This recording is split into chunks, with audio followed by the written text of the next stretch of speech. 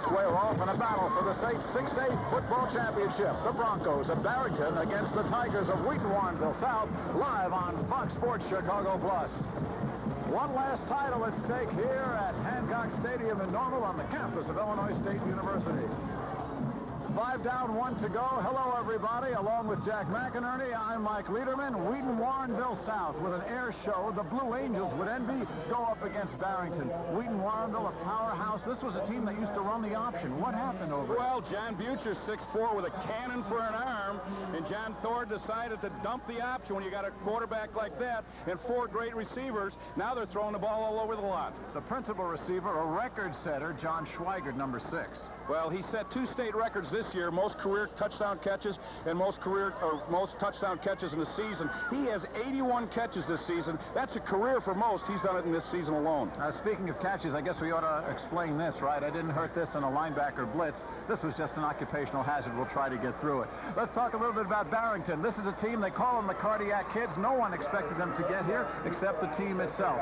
Finishing off with a semifinal double overtime victory against Naperville North. Well, you know, they have a running back as a junior named Coleman. He's 205 pounds. You'd think he should be a fullback, but he's a breakaway threat on kickoffs, punts, and just running out of the backfield. Offensively, also, they've got a quarterback who can throw a country mile, Scott Sagehorn. Well, in any any other game, he would be the marquee player as far as yardage, 2,000 yards passing. But in tonight's game, he's really overshadowed by Butcher from Wheaton South. Well, Wheaton South has been here before. They've been here a lot. For Barrington, it's the first trip in. We'll see who comes out with the 6A championship. But right now, let's go to our man on the sidelines, Mitch Robinson. Thanks, guys. And the matchup we'll be looking forward to tonight, Barrington's secondary. They've only given up three touchdowns in the air. Of course, Wheaton Warrenville South, that air attack. But first, let's kick it up to PA announcer Jeff Fritzen for tonight's starting lineups. And now, ladies and gentlemen, here are the starting lineups for the Class 6A state championship. First for Wheaton Warrenville South, head coach John Thorne. The defensive starters for the Tigers. At end, number 13, Eric Aster. At tackle, number four, Jay Weisenauer. At nose guard, number 51, Ryan Conway. At tackle, number 52, Kurt Ketterhagen. At end, number 90, Brendan Ferrari. At linebacker, number 30, Patrick Crosby. At linebacker, number 45, Nicholas Duffy. At cornerback, number 9, Jack Christie. At cornerback, number 37, Brett Bell. At free safety, number three, Nathan Shomas. And at strong safety, number one, Brian Schnurstein.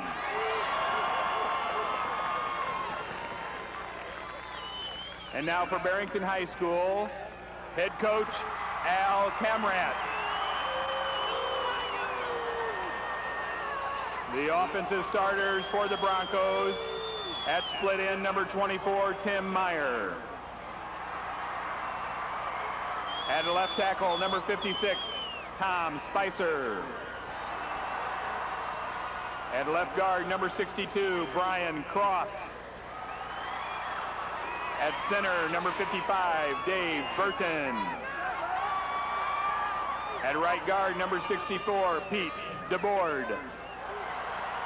At right tackle, number 75, Kyle Strubing. At right end, number 80, Steve Canada. At quarterback, number 12, Scott Sagehorn. At halfback, number 40, Dan Pullman. At flanker, number 7, Kyle Derrickson. And at fullback, number 47, Preston All right, there your starting lineup. So how did these two powerhouses get here to normal? Well, let's take a look at the road to normal. Barrington, a nice 38-0 win to open up the playoffs, and they're coming off a tough win over Naperville North, 34-28 in overtime affair. What about Wheaton Warrenville South? The passing attack also starts with a shutout, 42-0, and then a blowout against Sandburg. They beat Central and then they beat Cinderella, Downers Grove North, 38 to 6. Perfect weather, 59 degrees, 14 mile an hour gusts. It's beautiful. It's ready for football. There we go. Windy Mile. Tonight's officials for the game. Referee Thomas Geddes, Thomas Kaplan, Frank Enda, the line judge, Ian McCauley, the back judge, and your umpire, Barry Somerville. All that's left is to get this one underway. Let's kick it up to Mike and Jack for the kickoff. All right, thank you very much, Mitch. The Tigers are in their black with the orange numerals.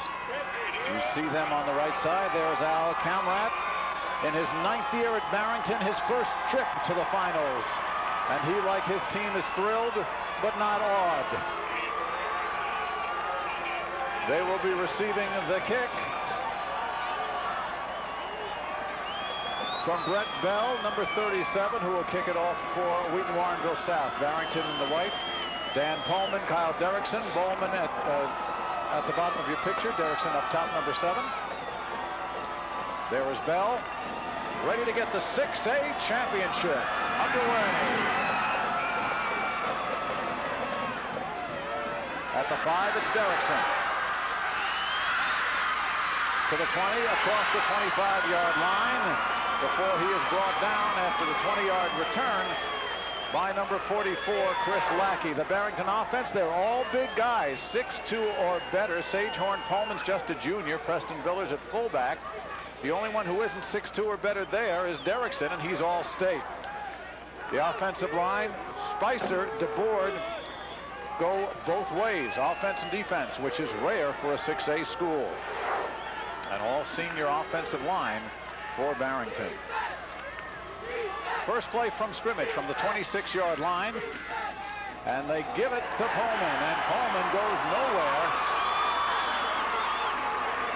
Jay Weisenauer, right there, who was pretty hepped up during the introductions, makes the first stop short of the line of scrimmage. Eric Aster started as a sophomore in the defensive secondary. He's left end or linebacker here.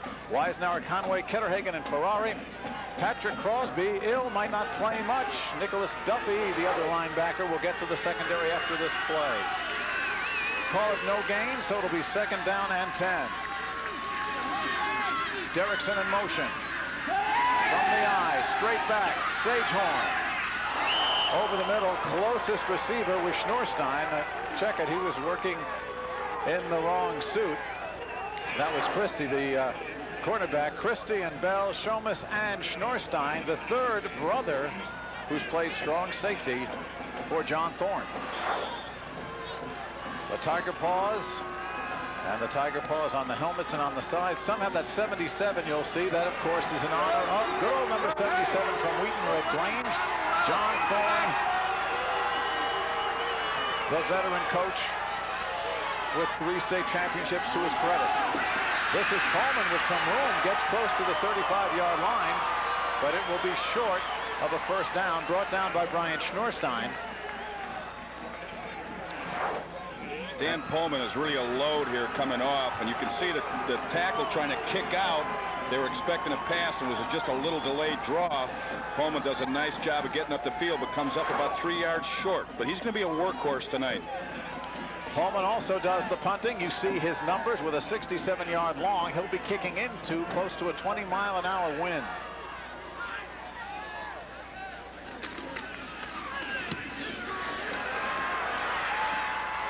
Schweigert lets it bounce around the 30-yard line, down on the 32. So three and out for Barrington, a 35-yard punt. And 10.25 to go on the clock. We'll look at the offense for Wheaton Warrenville South. The one running back in the backfield with Butcher is Corice Burns, 222 yards against Naperville the other game in the quarterfinals. Whitcanack, Collins, Schweigert, and McGoey, they all run, they all fly, they all catch the ball.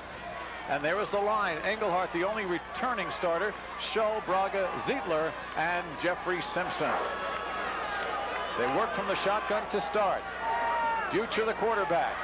He's got four wideouts, loves it. Intended for Schweigert, and he's got it right off the bat. Inside the 35-yard line, John Schweigert. He had blanket coverage on him. But it's a pickup of 32 yards. Tim Meyer, the cornerback, had him all the way, but Schweigert, showing you what he has immediately, made the catch over his shoulder. Well, Barrington's coming with a stunt that gives him man coverage out there. The safety can't get over there. He's man on man. He just lays out and he has got great hands. With 81 catches, you'd have to have great hands. That's number 82, and so much for worrying about the crown on the artificial turf sloping down toward the sidelines. No problems for Wheaton Warrenville. 32-yard pickup from the 35-yard line. Going the other way, he's got his man. Look out, McGoey, touchdown. Now that was an audible, Mike, at the line of scrimmage. He saw the matchup of man coverage there, and they were bringing the inside linebacker, and he audible at the line of scrimmage, and he got that single coverage up the sideline. And the air circus begins. Two plays, 65 yards. Eric McGoey making the catch for McGoey, his 17th touchdown. And you can't strike any faster than this.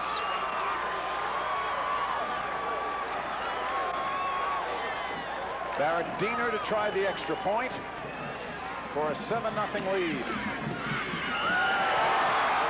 Look out.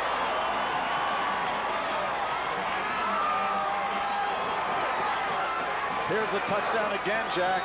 Well, he's got him isolated on the right side, Eric McGoey. Now, he looks the safety away. He just lays it up. And McGoey, who has 48 catches for 1,000 yards, just outruns him. Now, he's he's been averaging 21 uh, yards per catch. You can see Butcher right there. He's excited, but not too excited. You know why? He's done that 54 times before this. McGoey never played organized football until 97. You know, it's incredible. He has, that is his 55th touchdown pass of the season. The future, that is, yeah. the future. That is absolutely incredible statistic. What's even Easy for you to say. That's right. It's not a record. That's even more incredible. Truly amazing. McGoey, a baseball player, also has got track speed. He's a hurdler who's gone downstate.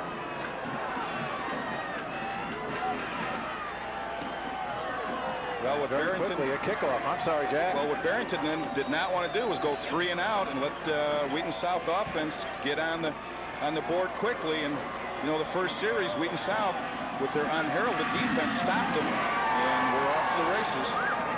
Derrickson at the four. To the 10. 15-20.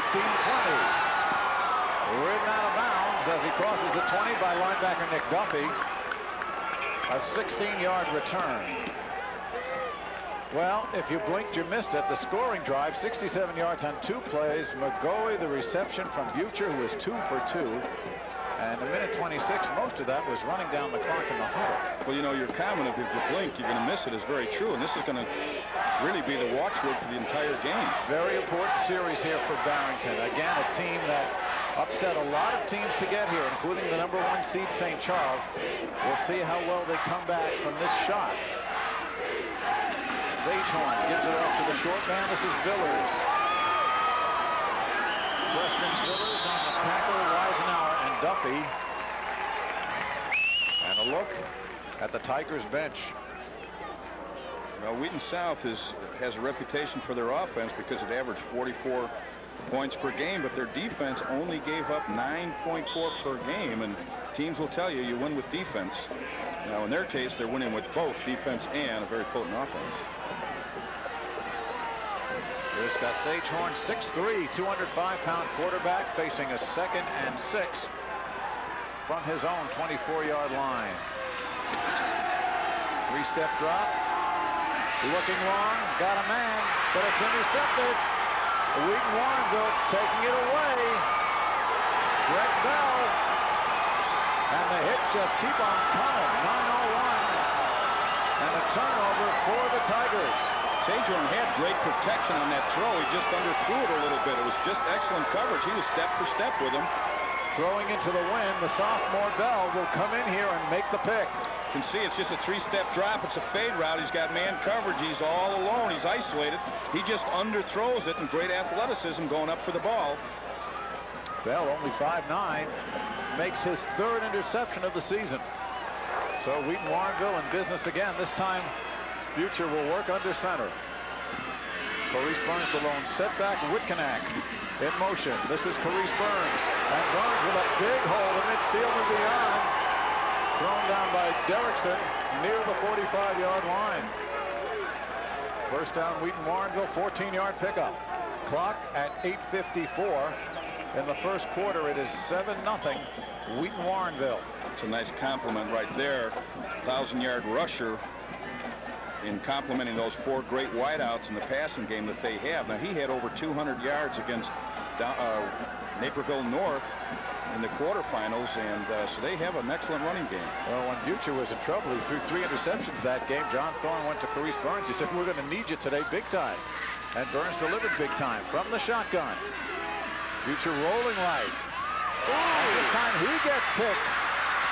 And the pick by Matt Garnes, the safety. You take that, well, you take that. Back across midfield, and Barrington gets a turnover and an 18-yard interception return by Garms. Well, For Garmes, that's his third of the season. It's amazing to think that uh, that Butcher's thrown the ball 290 times, and prior to this pick, only had six interceptions in those 290 throws. Now this makes number seven, still a tremendous average for him. Intended for Eric McGoey. And now Barrington at midfield or just short of it with good field position. Scott Sagehorn has got Villers and Pullman behind him. And a hold up of play momentarily here. We'll find out what the problem is. I think as our fans watch both of these quarterbacks, uh, equipment, equipment here, yep. but as you watch both of these quarterbacks and they come up over center, you'll notice they both look left and right and they're saying, making different comments. They're reading the defense and they both quarterbacks on both teams audible at the line of scrimmage. And this will be going on all evening. Both very smart, very heady quarterbacks. Garnes with one TD interception return, and Pullman breaks loose down inside the 35. So Barrington, again, we said they're thrilled but not awed. Dan Pullman ripping off 17 yards. Well, Dan Pullman, only a junior, 1,400 yards rush. You can just see right here, he has quick feet for a 205-pounder, and he has breakaway speed, as evidenced last week with his kickoff return for a touchdown against Naperville North. He's a good one. Or as we say in the trade, he's a keeper. From the 33-yard line, first down. Again, it's Pullman right into the center of the defense. And gets a yard, maybe two. Conway, Ketterhagen, Weisenauer, and Aister all get together. Eric Aister's a good story. He uh, was brought up from the sophomore team a couple of years ago in 1996 when uh, the championship was against Lincoln Way and ended up starting, playing well. I believe he had an interception that game. And he's grown some now as a senior. He's 6'3", 185, and he's moved on the defensive line, or actually stand-up linebacker in the 5-2. Second down and seven. Sagehorn being pursued and in and out of the hands of Villers. Catch could have been made, but there was defense right in front of him. Well, Sagehorn was looking deep the whole time because Villers was open for quite a while, but he waited a little too long, and then Brendan Ferrari dumped him right at the at just prior to him throwing the ball. But he was trying to look down the field deep, and he was just hanging on the ball a little too long. Well, the issue with Barrington is how well can they control the ball? Can the Broncos keep possession and keep that high-powered offense of the Tigers on the sidelines? Third down, seven.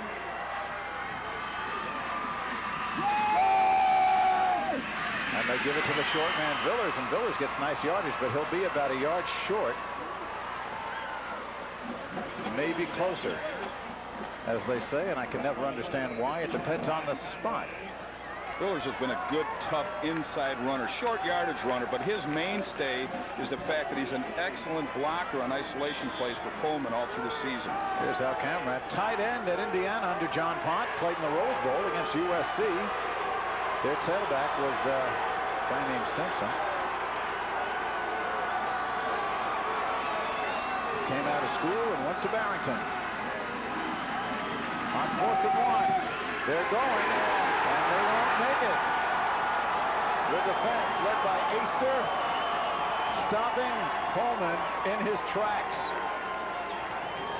Tough play by the Wheaton Warrenville defense as Barrington had a good drive going, but it stalls inside the 30-yard line. 7-0 Wheaton Warrenville. The Tigers ahead. 6.28 to go, first quarter. Welcome back to a beautiful fall night in Bloomington. It's actually more like spring here in Bloomington normal, we should say. This whole weekend has been fantastic. This tournament, normally, Jack, you get sometimes three seasons and often in one day, and none of them is summer until this year. I have a trunk full of various wardrobes, never knowing what it's going to be like both. down here. I'm Absolutely. serious. Absolutely. Always have to come prepared. But here, we're dressing light. After the stop, Wheaton Warrenville on the attack. Burns gets stopped with no place to go. Looked like Tom Burton, the linebacker, along with DeBoard, the nose tackle. And we showed you Spicer and DeBoard, two-way players. DeGudas, Niven, and Holcomb, the rest of the defensive front. Burton and Driscoll, the linebackers. And then Meyer, Joe Butera, Kyle Derrickson, we told you he's all state at the free safety spot. And Matt Garms, who's got a pick tonight already. 5.55 and counting, still 7-0 Wheaton Warrenville. And second and nine. That is Whitcanack in motion from the shotgun.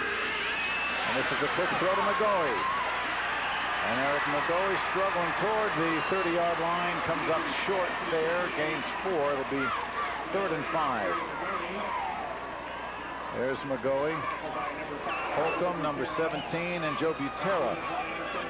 Tackle.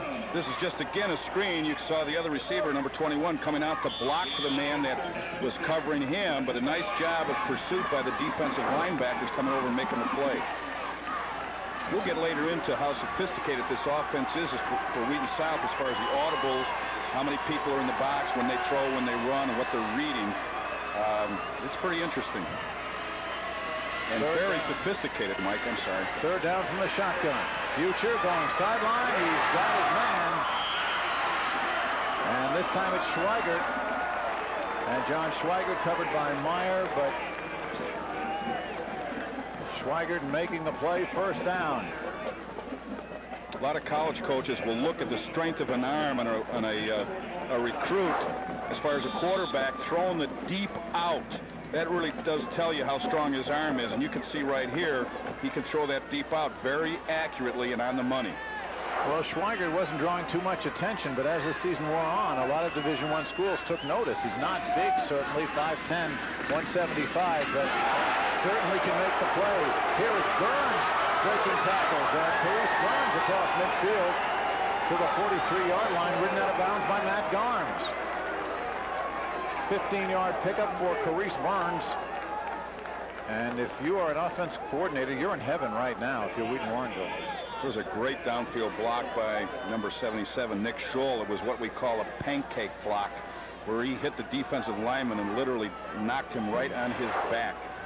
You can see it coming up right there. There's what we call the old pancake block. Just went right into him and knocked him right on his back. At 267 pounds, Nick can do that to you. Made famous by Orlando Pace. Whatever happened to him after he left Ohio State? Yes, I think he did.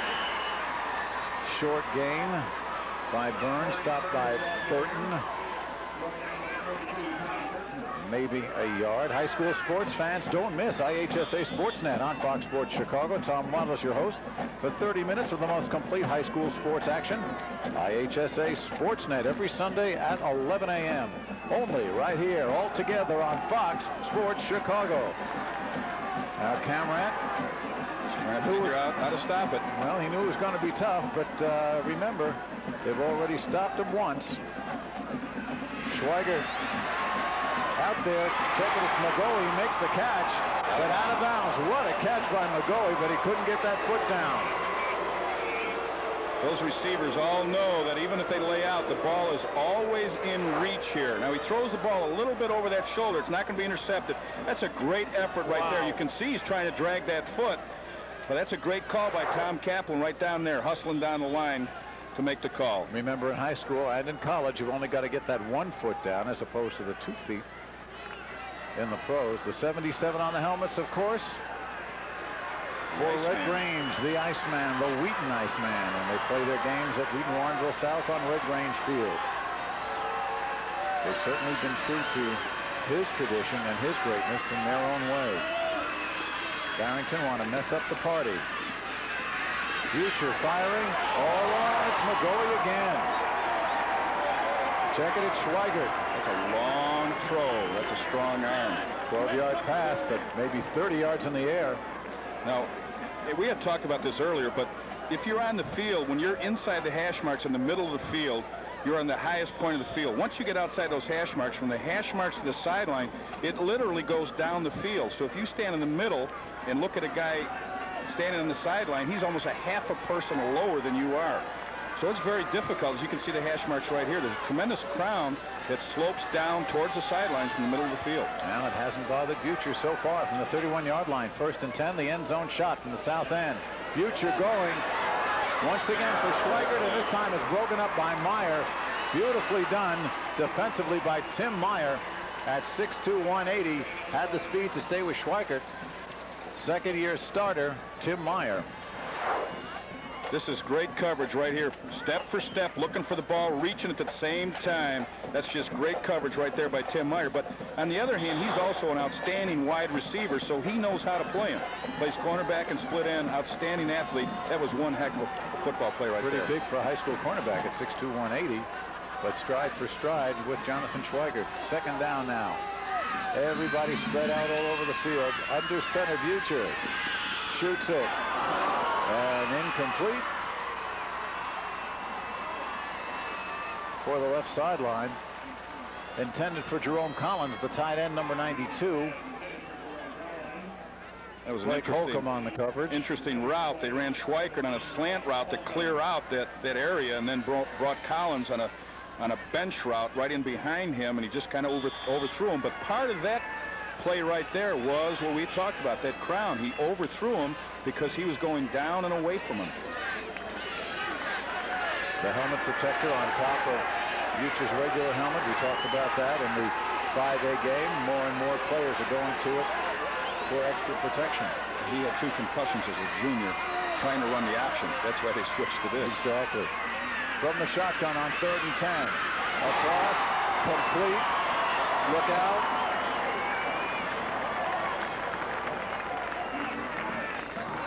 And it's McGoey again who's been the man. Derrickson on the coverage here. There's vertical routes and there's horizontal routes. You can see the crossing underneath, and he just sits right in that hole, right up inside. He got underneath that safety, and Butcher puts the ball right on the numbers. And he had Whitcanack going the other way. He could pick him too. McGoey to the left. Schweigert. Whitcanack to the right. Draw. And this time they give it to Burns. And Burns to the 14, pickup of three. Driscoll number 51, Dan Driscoll. Burton, the two linebackers, stopping Carice Burns. Well, the complement to the passing game is obviously the screen and the draw, and right there, we're looking at the draw. He's just reading the blocks. The offensive linemen take the defensive linemen wherever they want to go, and then it's up to the to the running back, in this case, Carice Burns, to find the hole and make the yardage. 3.24 to go first quarter, 7-0. Wheaton Warrenville scored on its first drive. There's the yardage situation. Obviously much in favor of the Tigers. And the whistle, the play clock is run down. There will be a delay of game against Wheaton Warrenville. Well, that really doesn't hurt them too much. I think Ball it, foul It actually gives Delay them more game. room on the offense. to run their routes. Second down. Tom Gaddis making the call. Outstanding crew on this game. John Thorne obviously keeping the intensity up. Does not want any kind of a letdown. It's as emotional as I've seen John in Yes. years. John Thorne and low key were synonymous, but not there. McGoey's flank left. Whitcanack in the slot. Schweigert in motion. And there it is to Schweigert. Quick hit across the 20. Not much of a gain there. That was well scouted because they didn't fall for that. Oftentimes when the team comes in like that, the secondary starts switching. The corner will switch him into the safety. He came in and just broke right back in. Normally you can see right there, number 17 comes in and then he breaks back out, but the corner didn't bite on it. Nice job, nice recovery. Short gain brings up a third down 11 from the 18-yard line. There's your time ticking down first quarter. The one touchdown on the opening drive for Wheaton Warrenville. All of two plays and 67 yards. Butcher shoots it across. He's got his man. And it's McGoey. It's Schweigert this time. No, it's McGoey again. Number eight, not number six. Again, he's just looking back, and it's a crossing route, and the way he lays it over the shoulder, right on the money. I sometimes think, Mike, you or I could go down there and make a few catches. You keep saying that, ball. Jack. I'm not. I got the busted wrist just cleaning the gutters. I'm not going down there. Everybody thought you got that when you cut in line in front of me at the buffet. That's right. But they taped it up and padded it so I can play. Fourth and one. And they give it to Burns, and if Burns gets it, it doesn't have much to spare. They brought in the goal line defense or offense, if you will, on the short yardage play on fourth down. I don't know. Maurice Burns was there, stopped by Tom Burton. Jeffrey Zorin, another running back, was in there to block. Well, yeah. again, they're just, you can see the, they're doubling on the nose man and just leading up inside. They get a nice surge up front, but the linebackers come from the outside and close it down. It's going to be very, very close. They have to get just the other side of the nine. And this will be a great play by Barrington. Half a yard short. So the Bronco fans in red and white cheer. And now Camrad sends his offensive unit down. Bell's done a great job at Barrington. Nine years as the head coach, 56 wins, 32 losses. Done a great job. And this is a fairly young team. It's nice to think that you got Pullman coming back next year. Oh, is it ever? So, deep in its own territory at the eight-yard line, Barrington will start another drive. Mike Lederman along with Jack McInerney along the sidelines, Mitch Robinson, Jim Angio, and our Fox Sports Chicago crew bringing you this one. Hope you like it as Pullman gets first down yardage, sweeping the right side. He is tough. Coleman bruising, and Pat Crosby, linebacker, didn't know if he would play today. He developed a illness a couple of days ago, spent some time in the hospital because he's in there tonight. But just kicking out right here in 13, you can see that Bull was constricted, so he just pop, popped it outside. But watch what he does here, lowers the shoulder and, and almost knocks over, and does knock over his own player. He is a load at 205 pounds, 6'2", and you know what? He's a great baseball player. Wheaton's drive, 14 plays in four minutes, but didn't result in any points. And they give it to Villers here as Barrington continues to move from left to right. Final two minutes here in the first quarter.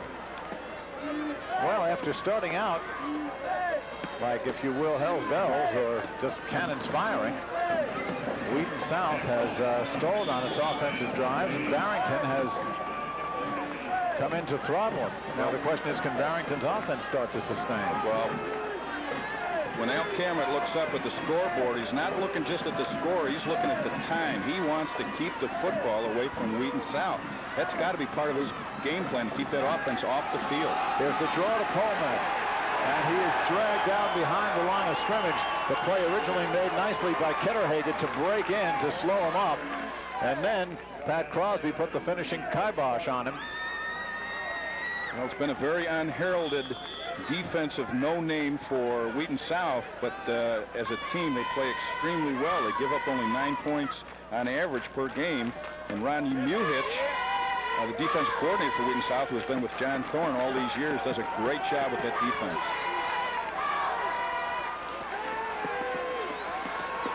Third and eight from the 23. Third quarter just about done across the field. Sagehorn overshoots his man Meyer. And it'll bring up a fourth down with 22 seconds to go, and that means they'll have to punt into the 20 mile an hour breeze. Bell on the coverage. Sagehorn has a very, very strong arm, and statistically, uh, he's got great stats for the season. I mean, obviously overlooked because of uh, Butcher's stats, but Sagehorn has a real strong arm, and at 6'3", 205 pounds, he's a big quarterback. Schweigert at the 45-yard line, his own 45. There's Pullman. He'll be kicking right into the teeth of a 17-mile-an-hour wind. Doesn't seem to bother him. Ball does hang up. Ooh, takes a nice bounce for Barrington. Goes across the 40-yard line. 38-yard punt, no return. And for 13 more seconds, John Butcher will try to head north. John Thorne, 19th year, went to Illinois Wesleyan. Took his team down here twice before they won the third time. That was an epic game in 1992 double overtime against Joliet Catholic. How could anyone forget that game? It was one of the top games of the year nationally. I believe the top game where Wheaton South came from two touchdowns back to win it in double OT. And we were there. Yes, we were. Loving every minute. What a terrific ball game. Future to the sidelines, and he's got his tight end, Jerome Collins. Goes out of bounds, but they called it out of bounds. Foot out of bounds. Awful lot of time there Barrington's trying to change up. They're dropping into coverage. They're bringing linebackers from the outside, from the inside. He had an awful lot of time to throw that. Right here, the official's right Good on call. it. It's an excellent call. Right there. And putting a little pressure on him. Locked down him there and couldn't get away from him. Tom Spicer coming in from his defensive tackle position. Seven seconds to go. Second down. And you see how Wheaton Warrenville alternates from the shotgun and under center. This is Burns, and Burns won't get much. Left side of the defensive line coming up to stop him along with Tom Burton, that inside linebacker. And that will do it for the first quarter. So third down and nine when we come back. Right now, we're through one quarter of the 6A championship game. The Broncos trailing the Tigers 7-0. All right, welcome back. We're here with Larry McEwen of Naperville North and Buck Drock of St. Charles. And they were just saying you guys were hoping to meet each other in this uh, state final. Exactly. Uh, you know, Buck took it to us earlier in the year at 32-28, and we had talked maybe we'd get a chance to meet again in the state championship. Well, we are, but unfortunately, we're on the sidelines over here. Being on the sidelines, though, it's funny to listen to you guys talking about these players.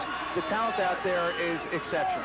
No question about it. They're great football teams, and uh, they're putting on quite a show for us tonight. How about the pressure for these kids playing in the championship? Well, I think the kids are really looking forward to a game like this. You know, you come in and you let it all hang out. You don't hold back anything, and, and you come out and you just play to your abilities, and, and both of these teams have great ability, that's for sure. Larry Buck, good luck to you. Hopefully next year we see you guys down here. Thanks very much. Up to you guys. Meanwhile, a 17-yard pickup from Butcher to Schweigert for the 83rd time this season, a completion to Jonathan Schweigert. First and 10, the 43-yard line now of Barrington. We're starting the second quarter, 7-0. Wheaton Warrenville ahead. And Carice Burns wrapped up by Matt DeGudis, the defensive left tackle. Assisted by Tom Burton, the linebacker number 42, whose twin brother Dave, of course, is the starting center on the Broncos.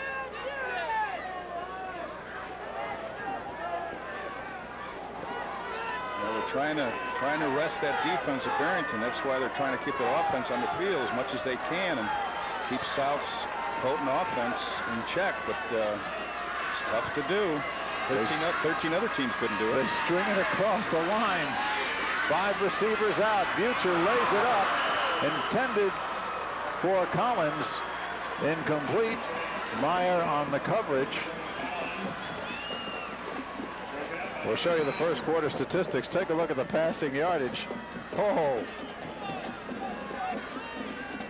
Seven first downs for Wheaton Warrenville. 121 yards through the air. None yet for Barrington. But that time of possession is key. That's why the score is only 7-0 because Barrington has been able to keep them off the field.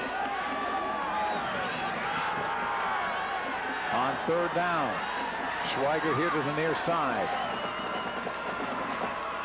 Whitcanack, McGoey to the left. Going on Schweigert's side, and guess what? That's McGoey. No, it's Schweigert. And it's out of bounds, doesn't matter. Official goes down. Receiver goes down. And Joe Gutierrez makes the tackle, but uh, out of bounds, so it's an incomplete. You can see he's going that way all the time. He's looking right there. And the official, great call. Great concentration by the official, makes the call and goes down. sacrifices himself for the good of the game. Yes, sir. Now tomorrow when he's limping around and telling his wife he can't clean the gutters, we'll have it on film. As Ah, uh, you're not going to let me forget this, are you? Derrickson in single safety oh, as nice kick. The kick up high and will bounce into or near the coffin corner. As Whitcanack dropped that one to the five-yard line.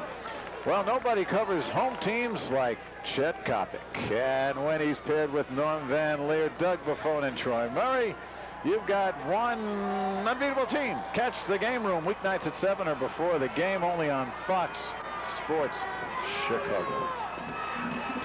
Well, Barrington fans have a lot to cheer about. A lot of folks thought they'd be down three touchdowns by now. This is a team that has come back Cinderella-like to get to the finals. So here they come on offense from their own six-yard line. 10.31 to go in the first half.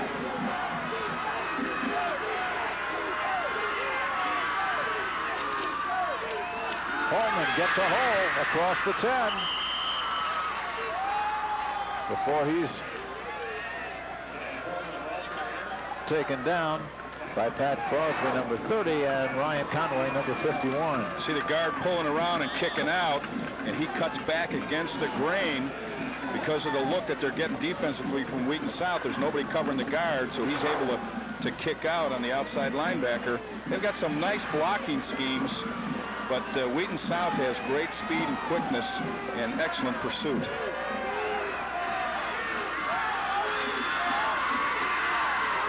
On second down. Once again, it's Pullman surrounded, and Crosby brings him down behind the line of scrimmage or close to it. Third tackle already for Pat Crosby. Key to that play was that Preston Villers, the fullback, slipped. He had a key key play, uh, block in this play. Take a look at the fullback here. It's a stretch lead, and he's he slips right here, and he had a key block coming back in here. He would have been kicking out number one, and Pullman had to cut back and right into the uh, pursuit of Wheaton South. Third and three. Pullman and Villers now in a twin set. The play fake. In trouble. And it's caught and pushed out of bounds. Is there an interception? Looks that way. Illegal receiver, I believe, is going to be the call because an offensive lineman is the one that handled the ball on that. There was a miscommunication there. That play was not designed that way. It's kind of goofed up. You can see right here that he wants to turn, but there's nobody out on the route. He's getting heavy pressure, and right here you see the offensive uh, lineman, illegal receiver, handling the ball. You know what it was? He touched it first, yeah. Well, they could say what they're conferring about is that the ball was deflected, so consequently that's why it would not be. Yeah. Brian Cross was the lineman who, who had those looks in his eyes, as linemen do. Tom Gaddis here making the call. After conferring. This is Tom Kaplan over here explaining to Al Camrat what the penalty is. And that's a good shot right there of Tom Kaplan. And uh, Tom wanted to make sure that we had a chance to say hello to his wife, Pat, who is uh, recovering from an illness. He sends his love and hopes you have a speedy recovery. He's doing a great job down here, and we all uh, send our wishes for you for speedy recovery. So they do call a legal receiver, and it's a loss of down. It is fourth and three. With Schweigert going deep for Wheaton Pullman will kick it from his own end zone. He'll have the win, and he gets a high snap and gets it away. It's going to be a short kick. And that's a turf bounce. Oh, boy, this is the best break that Barrington's got in quite a while. Look at this. From a near block. He gets a roll to a 60-yard punt. The last 25 are on the AstroTurf. I'll give Pullman credit for that one and give the AstroTurf maybe a little bit more credit. Now it's a high snap. Of course, being a baseball player, he's able to make that play, and he has to recover. It almost gets blocked right there, and all of a sudden it's an AstroTurf bounce, and there it goes. That's why we always tell kids back on the punt. Handle the ball. That's a key factor. We don't care about the run back. Just catch the ball so you don't have those big, long bounces. So from the 26-yard line, Wheaton Warrenville now with 8.42 to go first half, leading by seven. Butcher lets it fly. McGoey deep. Look out. Here we go again.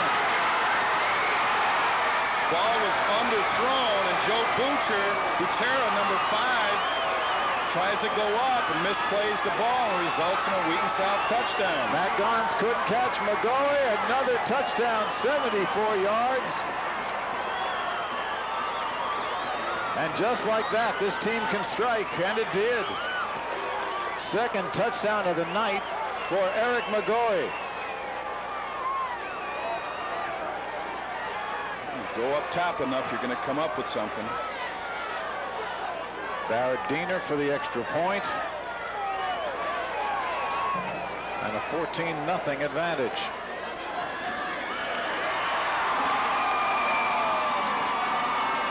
Eight twenty-eight to go.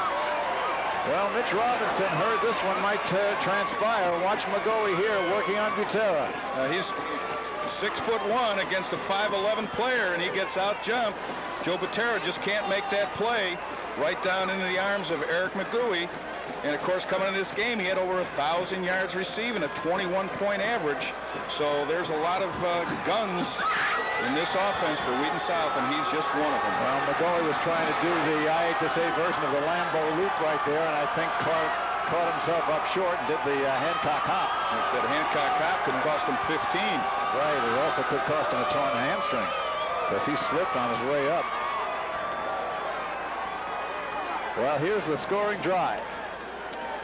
That's it. One play, 74 yards, 14 seconds off the clock. And Eric McGoey, touchdown number two tonight, touchdown 19 for the season. And for Mr. Butcher, uh, 56 touchdowns on the year. McGoey, second team All-State. Not bad for a kid who's only played two years of football. You know, Wheaton South is putting to, to rest that the concept that we've heard in football for years and years of the two-minute offense. It's more like the 10-second offense. Coleman and Derrickson are deep. Bell to kick it away. And who's going to take it? Derrickson does. That is six. 15, 18 short of the 20. That was one of those, I got it, you got it. Alphonse meets Gaston. Nick Duffy. You can see right there conversing. Make the play on special teams. There's Duffy, and here's the confusion. And you actually, we spent time working on this call, and you can see right there that somebody said I and somebody said you, and they miscommunicated. It's a good thing he picked it up. Al Camran, game plan in hand, has to see his offense sustain a drive here. They are scoreless midway through the first half. Sagehorn with lots of time. Lets it fly. He's got a man out there. Oh my gosh. Tim Meyer had both defenders beaten. And no question about it, Timmy knows it. He had it. Looking back in the lights, he had Bell beaten. He had uh, Nathan Shomas beaten. Had a step on both of them. That ball was in the air for about 50 to 55 yards. You can see right here a good drop. Nice cup protection inside. You can see right where he's going, right down the middle on a post route. And there the ball is. What a great throw and an unfortunate drop by Tim Meyer. And you can see at the last second the reaction from Sagehorn. Yes, yes, oh darn. But at the last second, the receiver just didn't look the ball into his body and paid. So it's second and 10. Got the Barrington crowd going, that's for sure. This time, Sagehorn will roll out. Folks in his face, and this one intended for number 32, Brock Buckholz, out of bounds. Ooh, big numbers there. 243, and 230 of them are in the air. On that last play, what's very difficult for a quarterback is to roll to his left when he's a right-handed quarterback. It's very difficult for him to turn his shoulders right there. You can see because of the pressure that he's getting from up front, that, that he can't get those shoulders turned. Ferrari puts a big hit on him right there, and that's why the ball was overthrown. He just can't get those shoulders turned to throw the ball up the field. It was intended for Kyle Derrickson. Now at third and 10, receivers left and right, fake the draw. Again, he shoots it over the middle, and this time it's picked off. Crosby wasn't supposed to play. Got a flag. Brought down by Cross. Pat Crosby makes the interception. Steve Canada was so wide open. Absolutely, completely nobody around him. Steve Canada, watch him. He's coming across the field right there, number 80. And there is nobody, nobody over there. That's just a great play right there by Crosby. Kind of a force by Sagehorn to put it in there. It looks like we have a flag for an illegal block on the run back. But Canada was wide open on the play. Here's Canada right there. That might have been your clip right there that you saw coming in the screen, and there could have been another one right there. Well, let's go to the official and get the call. But the interception will stand. Patrick Crosby, again, we told you he was in the hospital yesterday. During the return, flipping on the returning team. First down. Let's see if we can see the play. There's Canada, who was earlier wide open. I don't see it there. Well, there's one right there. That's actually the second clip. We had one a little earlier. So the ball comes back, but it's still Wheaton Warrenvilles with under eight minutes to go first half and a 14-0 lead from the 38-yard line of Barrington. Reverse. And the reverse. To the 40 on the hurdle. 35 down to the 34-yard line, and Eric McGoey doing it all as he took the uh, handoff from Corey Burns. DeBoard and Driscoll bringing him down. A long way to go for four yards. Well, you can see right here with the fast flow of the Barrington defense that they had good movement right there. But uh, just nice pursuit, nice reaction by the Barrington defense. Come over there and you can see the gang tackling going on. They've got quickness. That's what El Cameron said about his defense. They've got great quickness and they hustle to the football. Well, they're king on Schweigert, and McGoey is certainly taking advantage of that. From the shotgun on second and six. Future with room to roam. Beats the first line down to the 22 and the first down. Dan Driscoll tripping him up and taking him down. 12-yard pickup. Tell you what, there's some butterflies in John Thor Thorne's tummy when he sees Future running with the football. Because last year he changed his offense because he didn't feel as if Future was an option quarterback, and he also had sustained two concussions. And that's why he wears that double cap on top of his helmet. So uh, John really doesn't like him to be scrambling. Gets the first down down to the 22. Play clock is at four, three, two. They're not going to get this one off. Trying to audible. And the whistle goes, and that will be a delay of game. You know, when you talk about Jack, uh, John Thorne changing the offense, he says he always tailors his game plan to the talents of his seniors. And this year where he saw that a lot of guys could catch the ball and John Butcher could just throw the dickens out of it, he went and he sent his staff all over the country studying tapes, studying game plans. I, I, said, well, I assume you looked at BYU. He said, yeah, we got a blocking tape from BYU. He went to a whole series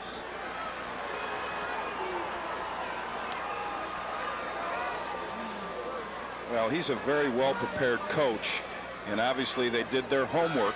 Yeah. And uh, he was getting on Butcher's case right there because under both scoreboard, uh, they have clocks, 25-second clocks, which we normally don't have at high school fields. So there really is no excuse for the quarterback, although he's not used to seeing that, so he's probably not even looking at it. So first and 15, Butcher hands it off to Burns, and Burns looking for a place to go. Gets a few yards down to the 22. Another reason Wheaton Warrenville was uh, working with Butcher so much and had some advantages that uh, John Thorne's son Jeff, a former quarterback under him at, at Wheaton Warrenville South, uh, now in the uh, world of work, if you will, after a college career, comes and works with the quarterbacks. He also got some uh, tapes and things from Purdue, Northern Arizona, Western Michigan, you name it. And of course, the receivers uh, all went to different camps to learn pass routes. You know, these things just don't happen. No, they don't. We're looking at these numbers here, and we still have five minutes left in the second quarter. Going for it all. Butcher looking, and this time almost intercepted. Intended for McGoey, but Butera had a better shot at that one than Eric did. Well, you know what's interesting? If, if sometimes people at home just kind of watch the mannerisms of John Butcher when he's back there. He does not get rattled. He has great poise. He sits back there. Now, they can be sending linebackers and changing the coverages. And whether he be taking the ball from the from under center or in the shotgun, he has great poise. He has tremendous confidence in his offensive line. But part of being a great quarterback is that poise, to sit in there till the last minute to make that throw. Among the schools interested in him, Iowa, Purdue, and Central Florida. And Central Florida's got a pretty good quarterback right now who'll be leaving. Well, you know, he looks frail, which he is at 180 because he's 6'4", but they can put some some muscle on him. And a good catch by Whitcanack, and Whitcanack inside the 15, and a big hit by Butera. So another receiver getting into the act, Brian Whitcanack, 6'1", 197, a senior. And for Brian, catch number 29 on the year. When the ball is put in a position like this, it's almost very, very difficult not to catch it. But you can see all of these receivers catch with their hands, which is very, very important. People might say, well, what do you mean catch with his hands? Oftentimes, high school kids want to jump up and catch the ball in their body. But you watch these receivers here, they all catch the ball in their hands, and that's the sign of a great receiver. Brian Whitcanack, one of several players who've had siblings on John Thorne's teams There's as well. Six. And there is McGoey again, number three. What a great, great throw. Right over the shoulder and up into the concession stand. Meyer on the coverage, but Eric McGoey has had himself a career here in the state championship. Well, Three touchdowns and a quarter and a half. They're double covering Schweigert, so they're going to the other side to Eric McGoey, and, and Butcher is just putting the ball perfectly on the money, just a fade route in the corner, and that was six.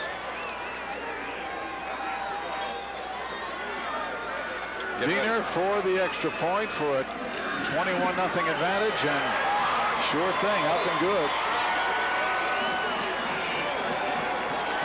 So, Wheaton Warrenville doing what it wants to do. Barrington trying to fight its way back. 21-0 Tigers. 4.50 to go, second quarter. We'll take a break.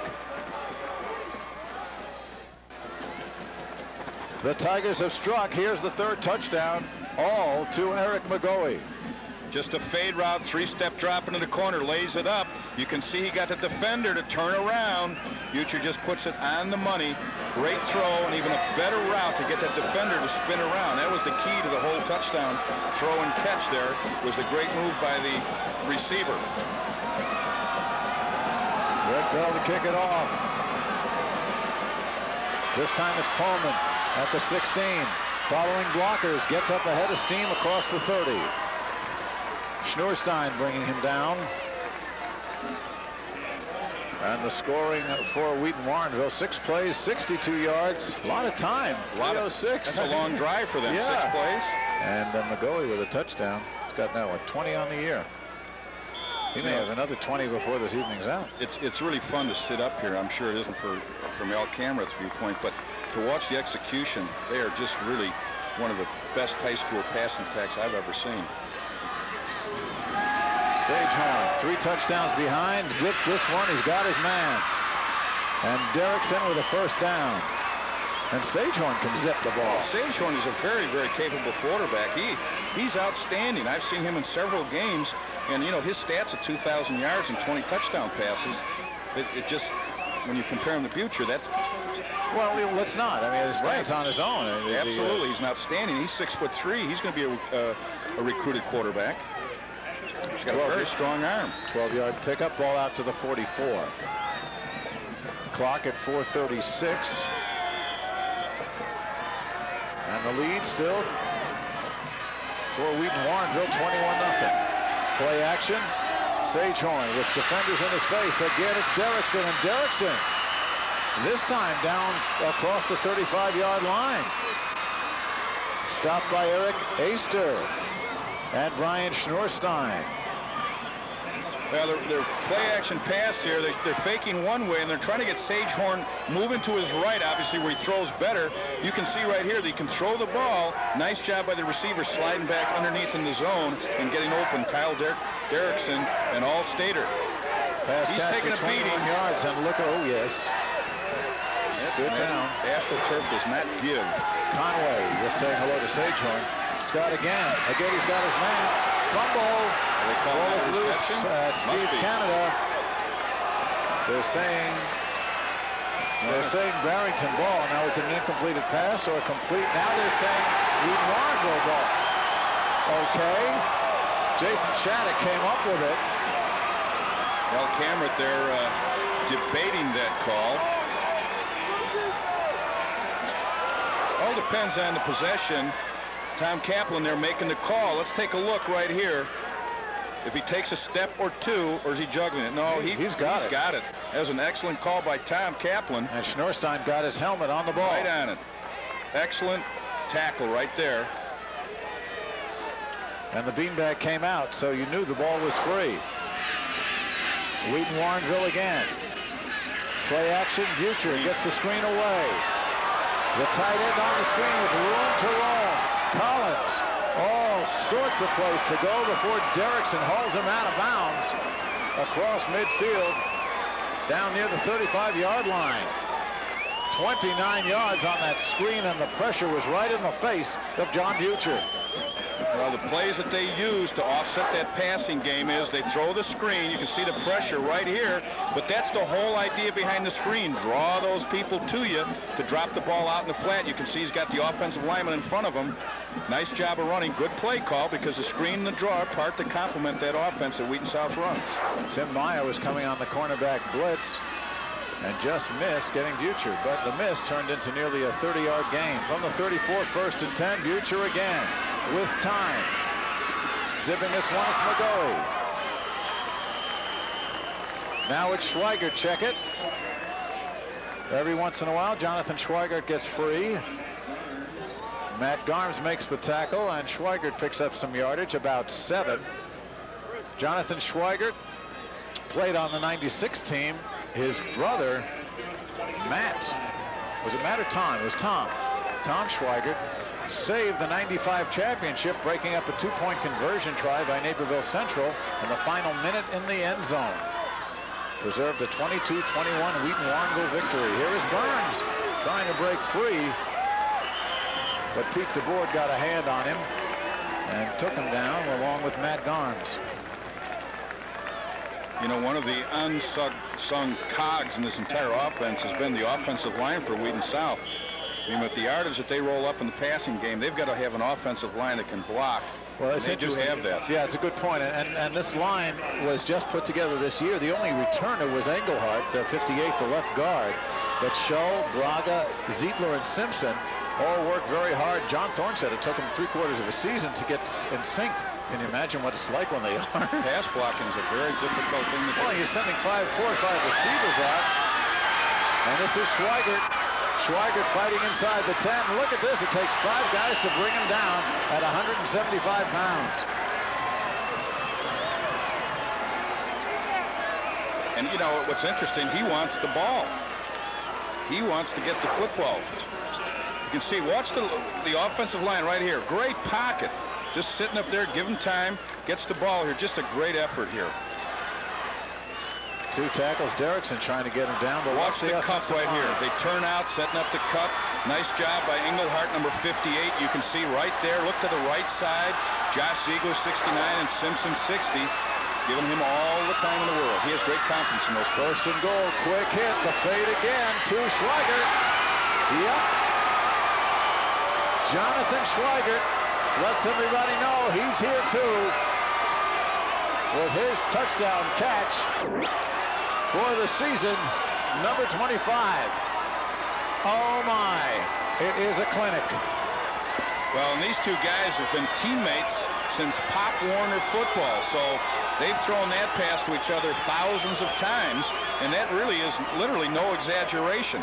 They started playing football together when they were in fifth grade, fourth or fifth grade, and their entire careers they've been playing together, and the extra point is good.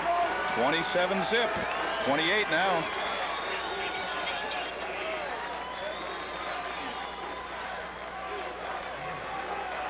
Well, so one step drop. We're going to take a look at the touchdown again. It's just play and catch.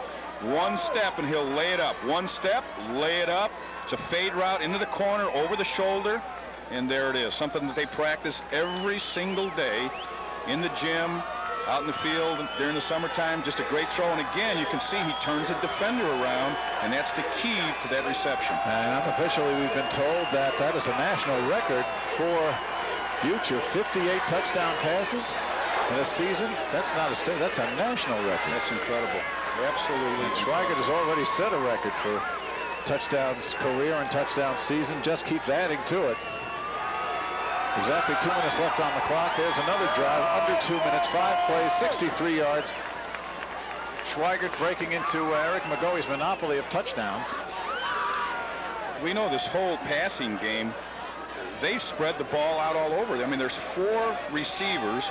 One has 85 catches, another one has 30, another one 30, another one 50. I mean, that's just an amazing stat. And what's really difficult about all this is that all those four receivers have those stats. The quarterback has 58 touchdown passes, and the running back has over a thousand yards. What do you do? I mean, you drop. You, it's, it's, it's unbelievable. Coleman on the 10 is going to try to do something on the kickoff return. Fighting his way out, but taken down by Nathaniel Odom, the backup linebacker. And tough field position. And you have to wonder what Al Kamrat's going to say to his kids at halftime. You know what? I, will tell you what he'll say to them at halftime. He'll say, let's win the second half. That's exactly what he'll tell them. There's nothing they can do about what's happened here. They've got to go out, and they're down in the state championship game. They came down here 13 and 0. Nobody believed that they could ever get this far. He's done a great job of coaching. His kids have done a great job of playing. He's going to come out and say, kids, I'm going to challenge you. Let's go out and beat them in the second half. A minute 52 left in the first half and 28 nothing the score in favor of Wheaton Warrenville. And the officials are going to be marking some more real estate off against Barrington on the return. During the return, clipping on the receiving team. First down. Tom Gaddis making the call. You know, it's really unfortunate because Al's got a great team this year, and, and he's done a great job, but Wheaton South is on another level. They Seems just, to be. They just uh, are just an amazing team. They seem to be. You almost wonder who's going to win between Mount Carmel and Wheaton South if they ever just went out and lit up the field with the headlights. Sagehorn firing for Derrickson, and Schnurstein breaks that up. And Schnurstein hit head first. There's a 50-yard throw. Well, we know, you know, Sagehorn can throw the ball. We know that. Has the wind, uh, now a crosswind helping him. But Schnurstein, single coverage here. Single coverage are both going up just a tad underthrown. And that's just a, a real good job by the defender getting up with him. And uh, those are tough plays to make. That's Brian Schnurstein, 5'11", 185-pound senior. Yes, Brian, as we said, the third of three brothers to play that position for John Thorne. Halftime, we'll have the highlights and the stats, and there are some glittering highlights. We'll talk to uh, David Fry, the IHSA Executive Director. And quite a job he's done since he's taken over several years ago. Second and 10. Billers. Short gain. And brought down. Ketterhagen and Conway on the stop. John Thorne continuing to coach. What they're doing here is he's talking to the offensive line. They can't, there's not a heck of a lot they can do with the pass catch skills right now, but they can do things to make adjustments to the schemes that uh, Barrington is, is bringing at that offensive line, different stunts and different movements that they're making. And those are the adjustments that he's looking at right now for the offensive linemen.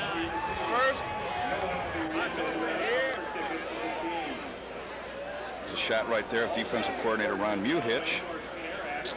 Right there is Ryan Muhich, done a great job with defenses over the years with Wheaton South. Long-time guy, a lot of hair. Over to Mitch. Hey guys, uh, looking at John Butcher, you talk about confidence. He exudes it. After the second touchdown, he looked at me and said, I got lucky on that one. After the third and fourth, he wasn't lucky. The kid is confident and knows it, and the team rallies around him. That's why they're so successful. Back to you. Okay, Mitch, a minute 33 to go here in the first half. Barrington with a third and nine from its own 10. Be great for the Broncos to get something going here. You know, one interesting point, too, is that you know, Wheaton South is not playing a powder puff league. That DuPage Valley is one of the tougher leagues in the, in the state. And that's a credit to how successful they are. Sagehorn has the time. Zips it. He's got a receiver, and it's Derrickson. And first down, Barrington. Show Miss the tackle. Did a good shot here, setting up, good protection, good cup protection. Looking to the out man and coming back in right there. Nice throw, puts the ball right on the numbers. And Kyle Derrickson just sits down right inside that zone and hooks up for a nice first down for Barrington. Derrickson number seven. Split out to the right. A minute seven and counting. Sagehorn gets pressure from Aister, dumps it out to Villers. Villers with blocking. Villers across the 40. Villers to the 47-yard line. Well executed little flip pass out in the flat. Pat Crosby makes the stop. Now with 57 seconds to go, they'll move the chain, stop the clock, and Barrington might take a timeout here to try to get on the board. Again, pressure coming, and that's the ideal time to, throw the screen, which he does to Preston Viller, 6'2", 210-pound junior. Their whole backfield is coming back next year, and he does a nice job of getting up the field. There's a look at John Butcher. There's that record. It's now official, I guess. Chris Redman, there's a pretty good name for you to have a a record taken from. This guy's awesome, man. National high school record. this guy is awesome, man. Well, you know, it's a very selfless bunch. I asked John Thorne, how would you characterize these kids? How would you characterize these players of all the teams you've had? He said they're humble, which is interesting. Uh, there's a lot of that false bravado and false humility at the same time. But I understand exactly what John means. They're a, a, good bunch of kids and they also play and they'll fight you tooth and nail and they're extremely talented as well. Great combination. Well, when you spread the wealth around as much as they do, you know, that also does help morale. If there's just one kid that they're going to all the time, that's a different story. But they certainly spread the wealth to four receivers and a running back, so everybody's got to be happy campers. 57 seconds to go from the 46-yard line. Barrington trying to mount some kind of offense to go into the locker room. Sagehorn again. He's got his man. A terrific catch. Looks like Meyer made that one. On the fingertips. Great, great catch. Inside the 30, down to the 25. Brett Bell on the coverage, but a nice catch by Meyer. I'm sure he still wants that other one back. Nice play fake, but he gets drilled right here. He just lays the ball up. And uh, that's just a great throw and a great catch. Watch right there the pressure. He has his feet off the ground literally when he's throwing it. He knew he was going to get drilled. And there's the enthusiasm that he's showing. Barrington is in the ball game. I mean, they're showing a lot of excitement. Pick up the 29 yards from the 25. Barrington with a chance here. Sagehorn firing for the score. Derrickson has got it. Great catch and great throw. Christie went down, slipped, but what a play. The ball taken away from Jack Christie by Derrickson. And he had great protection up front to make that throw. Just a great job by the offensive line. Did a great job of dropping back and getting the ball up in the air. And that was just a great concentration catch. All-Stater Kyle Derrickson, one of the three two-way players on this 6A team. Made All-State as a defensive back, but you can see as a receiver, he certainly has the goods. Notkey to try the extra point you know, you look at this score, Mike, and some people might say, ah, not much. This is exciting. Well, it's fun to watch. Maybe not if you're Barrington, but you, you sort of feel that the Broncos are going to get back in this, and they started to right now. They have all year. C.J. Notkey up and good. So a four touchdown lead becomes a three touchdown lead. 43 seconds to go. It's 28 to 7. Watch the great protection he gets right here. Just a little play action fake, but sits in the pocket, has his happy feet where he's keeping his feet moving. But here's the great concentration right there, going up and getting the football. That's just a great catch right there. Well, Jack Christie, the DB, did slip, but that doesn't underplay this combination. Sagehorn to Derrickson. You can see Sagehorn right there showing his excitement. And Al knows that he's in the ball game. All they got to do is make a couple plays, make some stops. Uh, it's it's going to be tough for him, but you know Al's the kind of coach, and he has the type of team that all year they have come back. So for them, comebacks are nothing new. And they went nearly the length of the field. Six plays, 91 yards, and just over a minute to do it. Great confidence builder prior to the end of the half. He's got something now to work on at halftime with, with his players talking about getting some points on the board when they're able to score just before the half. Christie, the defensive back, is really hot. He did slip and went to the sidelines saying some things to some things to himself.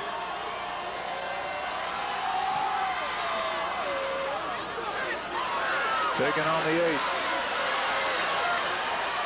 And Schweigert across the 20 to the 24. Tackled by Kirk Kozel, number 89. Kozel, a junior defensive lineman.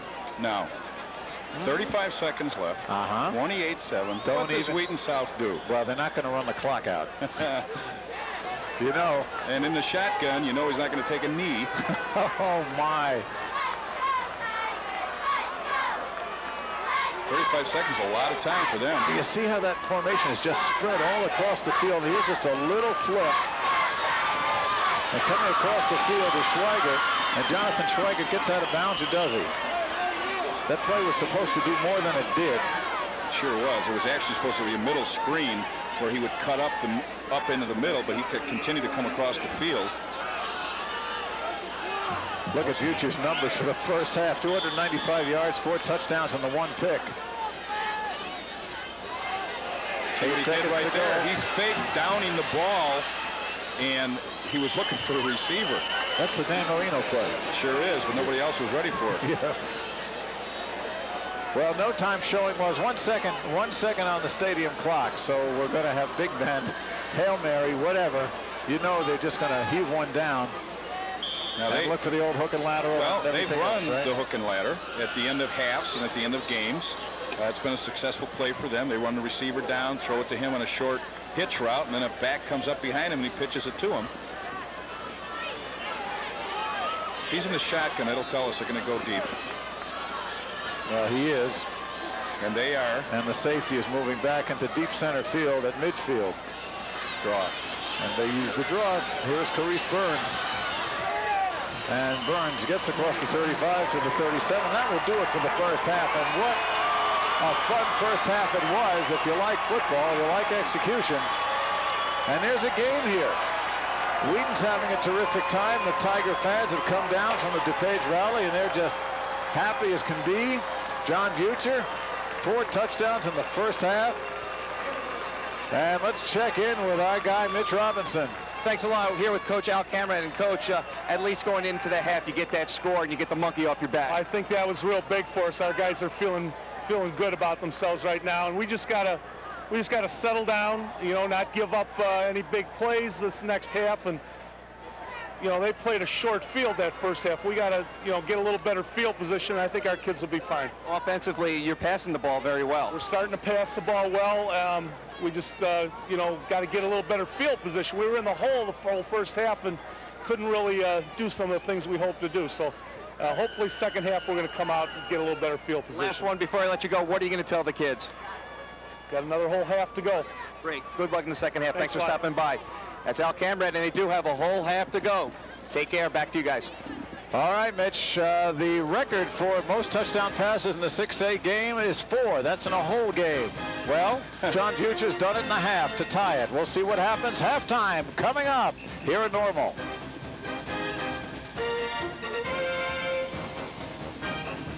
Normal Hancock Stadium. We're at halftime in the 6A state final.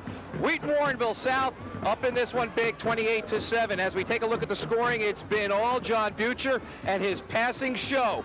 It started early, it continued late. First quarter, second play of the game to McGoey. Three touchdown catches on the day. He gets a 35-yarder, he gets a 74-yarder, he gets a 14-yarder. John Schweigert, well, he got free for one two a four-yard touchdown catch to the corner. And then right before the half, Barrington gets on the board, a 25-yard strike to De- Derrickson, and that gets us to our score at 28 to 7. So there's a lot more excitement on the way. And also on the way at halftime, the executive director of the IHSA, David Fry. It's a good interview. You don't want to miss it. Stay with us. Halftime is ready to roll right here on Fox Sports Chicago.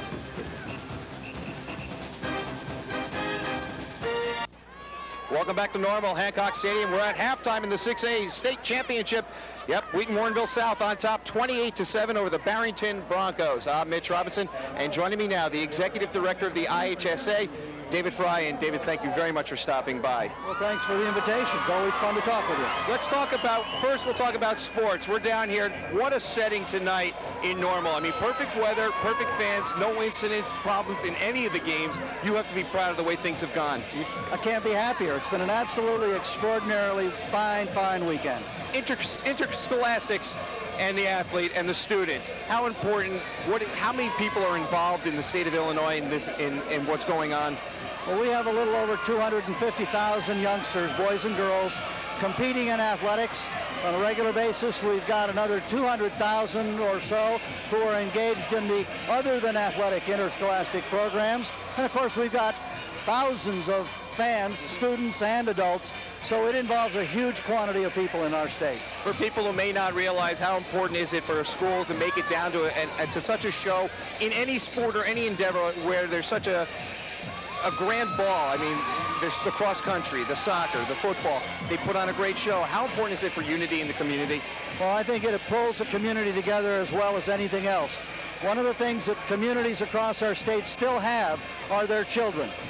And the boys and girls who perform at their best levels, that entertain us, that excite us, that stimulate us, they motivate us, and we find tremendous pleasure in them. And it draws us together as, a, as an American family. What many may not realize is that there were a lot of political ties to this year's state finals. Talk to me about who's been coming and why. Well, it started last evening. Glenn Poshard was here supporting the Nashville Hornets. This afternoon, we had uh, uh, Jim Edgar's uh, children went to Glenwood High School. George Ryan was a, a student at Kankakee uh, McNamara, played football there, as I understand. So we've got a lot of governmental leadership ties to this particular event talking about the playoffs specifically.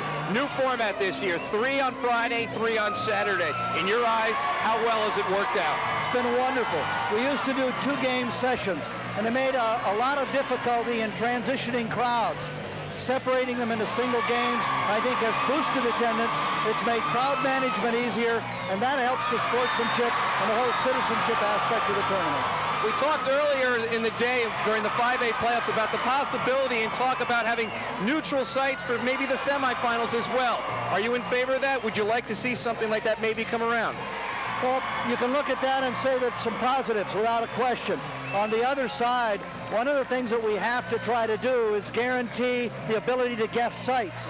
And if we go with neutral sites, we lose the local flavor, we lose the ability to have our own personnel managing, so there's some positives on that side. I think right now we're likely not to move to neutral, neutral sites. Where does David Fry want to see the IHSA head? Upward and onward. One of the things we want to definitely continue working on is our campaign for sportsmanship and citizenship. Attitude, yours and right mine, is, uh, is terribly important. And what we need to do now is work to ch change our attitudes from something that's mental into something that we see in action. We've got to see it and live it out all the time. That's where we want to go. Well, you can't you can't add on to that. That is perfect. David Fry, thank you so much. Wonderful job you're doing, and we also appreciate all the help you've given us this year again. So thanks for stopping by. Thanks a lot, Mitch. My pleasure. Stay right here. Stay with us because highlights are coming up from the first half. We'll be right back.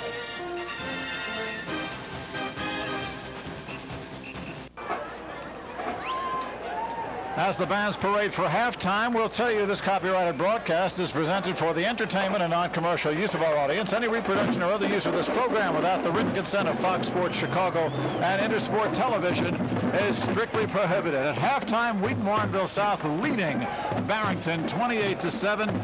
Jack McInerney, we talked about the weather being like July 4th. We didn't think we'd get the fireworks to go with it as well. Well, it's happened for the last 13 games. I don't know why we didn't think it was going to happen tonight. They're just just so explosive. And the funny thing is, a three-play drive is a long drive the way it's going. And Barrington, no slouch on defense. This is a team whose secondary only gave up four touchdowns all season long, and they've been torched for four touchdowns just in the first half alone. Let's go right to the highlights. First series from scrimmage, second play, Butcher to McGoey. We're going to get to know these guys, 35 yards and a 7-0 lead. And then McGoey again, this time from 74, Jack. You know, it's just a fade route, and right here, there's a poor decision. He stops, gets on his heels, jumps, and doesn't jump high enough, and there's six more. 7 nothing after the first quarter, 14 nothing now in the second.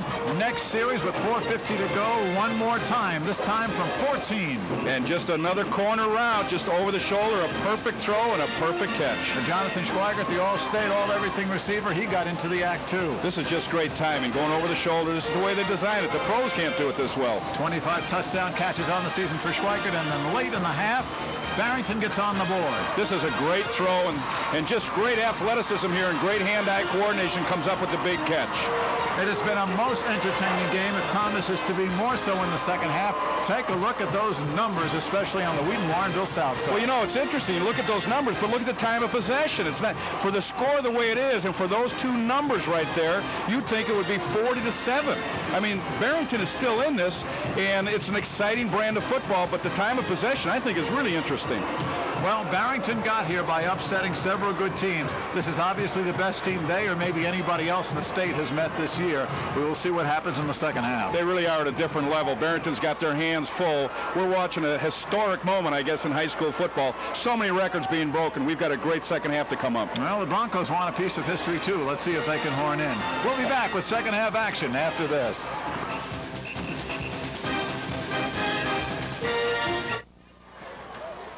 28-7, the halftime score. Wheaton Warrenville looking for another state championship. It has three so far this decade. Let's go down to Coach John Thorne. He's got, or Mitch Robinson's got him. Thanks a lot, Mikey. We are here with John Thorne and John. Uh, great first half.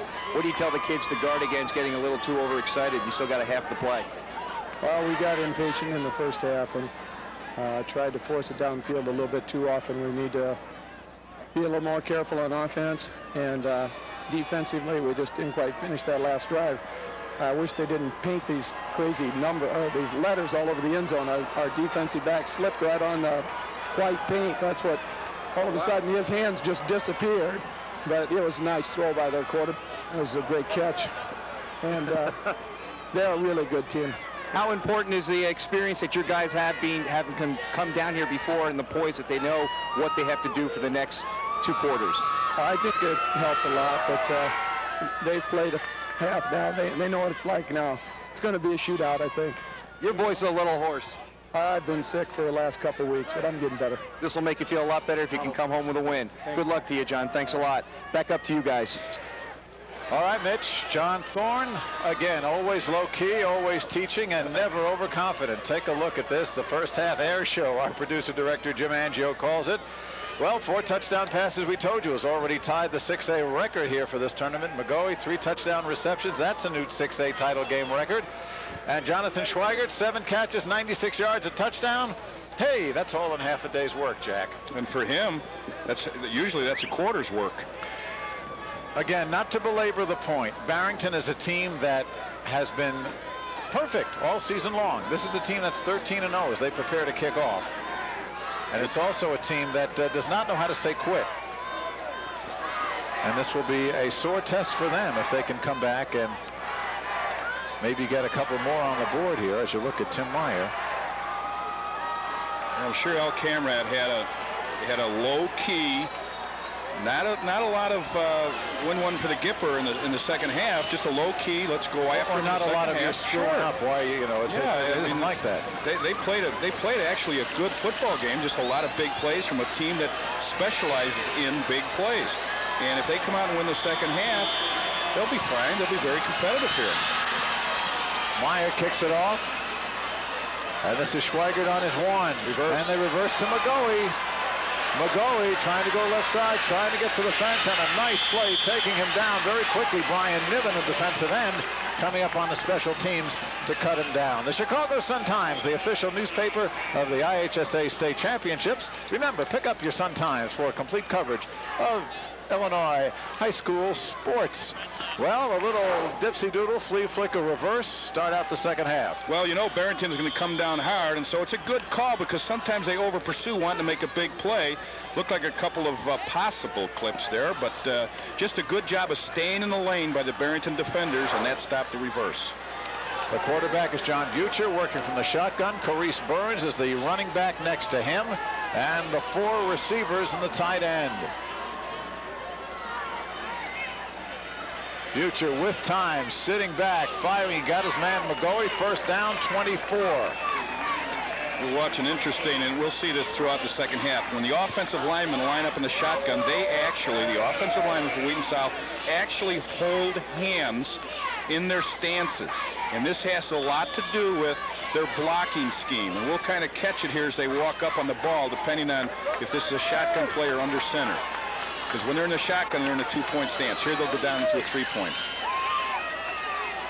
From the 25-yard line, first and 10, opening drive of the first half. This is Carice Burns with room.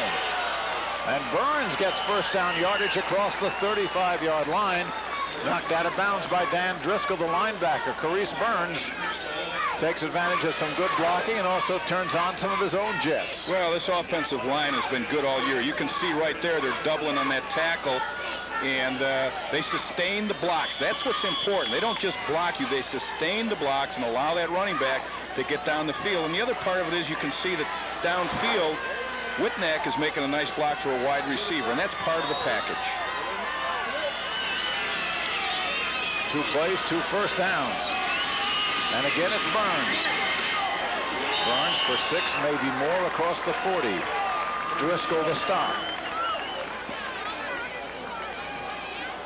Part of their, their scheme is that if you end up putting seven defensive backs back and drop off a linebacker, they'll run the draw or the screen. Now, if you bring linebackers and they read it, that's when they audible and they go to the various routes, whether it be vertical or horizontals or combination routes. They have a whole scheme of things here, and that's why Butcher a couple times been caught. Again in the shotgun. Schweigert to the left. Butcher's got lots of time to sit back in the pocket, and this time, nobody home intended for McGoey. Let's take a and look here for Collins, we should in say. the shotgun. You can see where they literally hold hands right here. Now they're actually in a two-point stance, and they do that so that they know where their splits are and how far. It's not that they're such great buddies. This is a reason for pass blocking. You can see nobody can split them. They take very tight splits, and they have good cup protection inside. The only way you're going to get at them is coming at what we call off the edges from the outside linebackers. Otherwise, you can't get through them in the middle. They're so big, and they have tight splits. I know they're doing their job with so many receivers out on routes. They've got to hold off the defensive line, and they're doing it apparently with ease. Butcher looks right, got his man, and it is Jonathan Schweigert close to midfield. Matt Garms on the stop. You there's so many different wrinkles that Wheaton South has in this offensive scheme. And what they really did is it's a smorgasbord of all those schools, those colleges that uh, that John Thorne that mentioned that he and his staff visited. They combined a lot of things to match up with their particular personnel.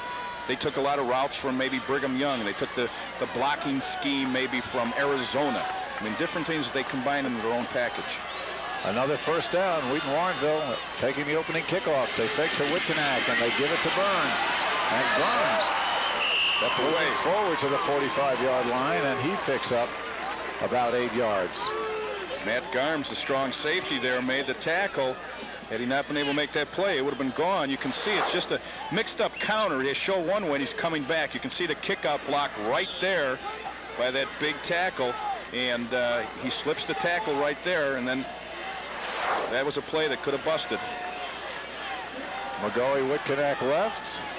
Schweigert comes down here to the right. The tight end on the left side. One man in the backfield. Quick hit inside. And once again, John Schweigert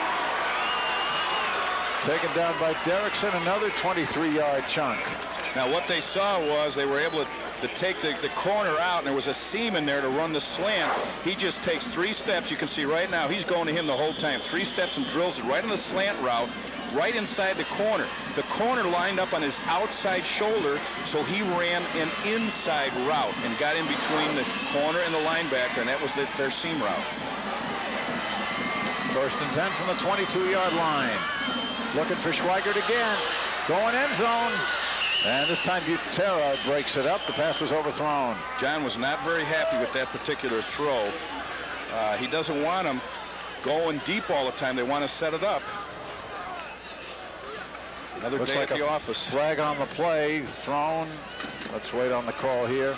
Looks like it's going to go against Wheaton Warrenville. Preliminary indication. As the officials confer, they're talking to Barrington. I mentioned, John was not real happy with that throw going deep. Tom Motion Gaddis. on the offense. Five yards.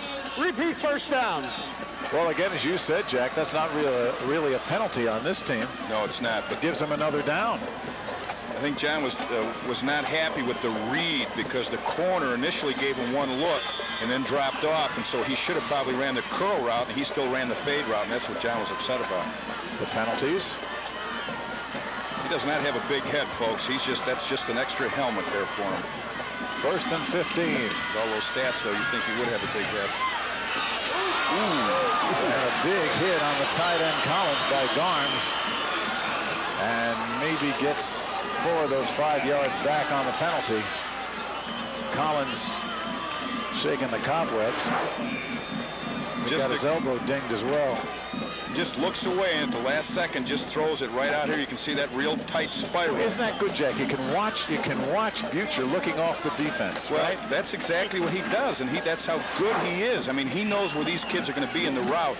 He looks that safety off, or in this case, looks the linebacker off because he was the one that was Yeah. assigned to the tight end. The tendency in high school, of course, is to lock onto a receiver. That's one of the things they try to break quarterbacks of. But this kid, you can see, he's just all over the place. Nobody knows where he's throwing until he decides. Burns, stopped by Burton and uh, Niven. Going to bring up a third down and 10. Well, all of this storied offense couldn't be possible without Scholl, Engelhardt, Braga, Zittler, and Simpson up front. They just do a great job, and of course, they're rarely recognized because the stats and all the uh, recognition goes with the receivers. 28 to 7. Wheaton the leading and driving. You can see here again the real tight splits on the right side. Zorin, the running back in. Number 40 to block. Butcher looking. Got some time. And got his man. Once again, it's McGoey. You see right there, that's a good shot of Jeff Simpson, number 60. Now, Jeff is 6'2", 323 pounds. He's the right tackle right down here, dropping out. You can see he does not move his feet. They lock their inside foot in. Now, 323 pounds, it'll be tough to go through him, so obviously you got to go around him. Well, the records continue to pile up. 348 yards, and there's still a quarter and a half to go. Butcher wedging him out on the fourth and one. And the first down. Oh, that's that. I'm going to say no. You're going to say no? I'm going to say yes. Okay. Well, I'm going to say yes. I have been wrong before. I picked the Yankees in 57. that's why our relationship works, Mike. Uh, well, he's got it, Jack.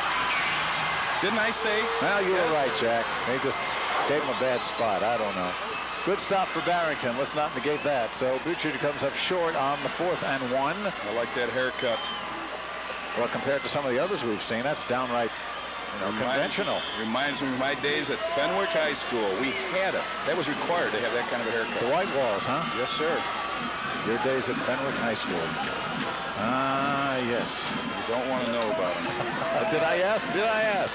Seven minutes, 25 seconds to go, third quarter. Mike Lederman, Jack McInerney, Mitch Robinson, your broadcast team here on Fox Sports Chicago Plus. Barrington, Scott Sagehorn hands it off to Pullman. Pullman has been held in check by the Wheaton Warrenville defense. Brian Schnurstein leading the Tigers charge as uh, Pullman crosses the 15-yard line.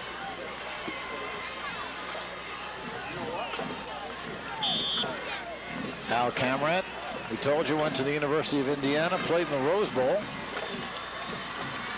against USC and O.J. Simpson. And has been at Barrington 29 years. Last nine as head football coach. Sagehorn with time. Lots of time. But missing, He's, missing lucky. his receiver, Brandon Watts, number 22. Better off having it as incomplete. Here's Dan Pullman. They've held him pretty uh, far down, 47 yards on 10 carries. Well, the other part of that is also they, because of the score, his rushes are down. Normally, he probably has double sure. that at this point. Right. Only 10 carries.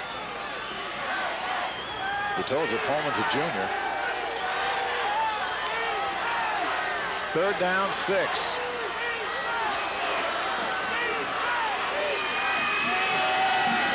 Sagehorn with a drop. Aister has got him and unloads just as Aister did. He unloaded the ball. That was a great job right there by that quarterback. Great job. Sagehorn was in the grasp of Aister, and just before Eric put the clamps on him, Sagehorn managed to throw that ball away. See, he's getting the backside right here. Kind of feels it, peripheral vision, and he dumps the ball instead of taking a big loss, dumps the ball out of bounds. Now, he won't even throw it over here because he can see the coverage. There's no reason he doesn't want to force it, so he, so he throws it out of bounds so it can't be picked off. Pullman will drop back. What I like is Wheaton has two receivers back so they can cover this ball. Another great kick. And quickly upended with Schweigert. Joe Butera right there on the coverage. 42-yard punt, no return, 6.29 to go, 28 to 7 the score remains. We'll take a break and come back to Illinois State for the 6A championship. Welcome back, and here we are with three former state champions from Wheaton Warrenville South. And uh, what is it like to play in the state championship games? The guys are only up by three touchdowns, but they've been here before. Uh, it's a really good experience to uh, play here. I mean, everybody's here to watch you, and it's on TV, and it's all exciting. It's just great. You guys have played before big crowds. Two of you guys played before a college crowd. What's it like to play in front of this place? Honestly, it's an amazing place. There's nothing quite like it. For yourself, what are they going to do? They're going to win. They're going to win. They're going to win big. I was looking for a play call, but we'll take that. Back up to you guys. All right, Mitch uh, Carice Burns as Wheaton Warrenville. Moving again, gets a few yards. You know, it's interesting. In the game against Naperville Central, they, they kind of had some problems in their passing game, and that's when they went to Clarice Brown, uh, Burns, and he ended up with over 200 yards rushing. And that, a lot of people say, well, you know, if it's bad weather, they can't throw. They've got the complete package. And, of course, right now, it's ideal. Yeah, Burns with 222 yards against uh, uh, Naperville Central, right? Naperville Central and three touchdowns that day. Butcher had three picks. Butcher changing the play. Again, so much time it throws into a host of Broncos, and very lucky that wasn't picked off. He had Garms there, he had Burton there, he had Butera there. John is telling who was open on that. It's obviously a little easier for you and I up here as well as for John on the sideline to tell Butcher who's open. But uh, usually he finds the guy that's open. But Barrington's doing a nice job of camouflaging their secondary. They're giving them an initial look, and then when they go to the audible, they change and drop a linebacker out or rotate the secondary so that they're not getting the same look all the time. That's real important to go against a team like this, to give them different looks. Derrickson and Garms there with deep backs. As Schweigert comes right on third down. Good protection throwing it, and he's got a man wide open. It's McGoey, and McGoey goes out of bounds at the 40. Eric McGoey adding to his yardage total, which is near record-setting proportions as well. Our spotter and statistician, David Berkson, working on that right now. You see the protection here. People double up. They don't move their inside foot. They, they stay in place. And Butcher, as you can see, doesn't roll much left to right. He sits right in that pocket. He's got great confidence in that offensive line.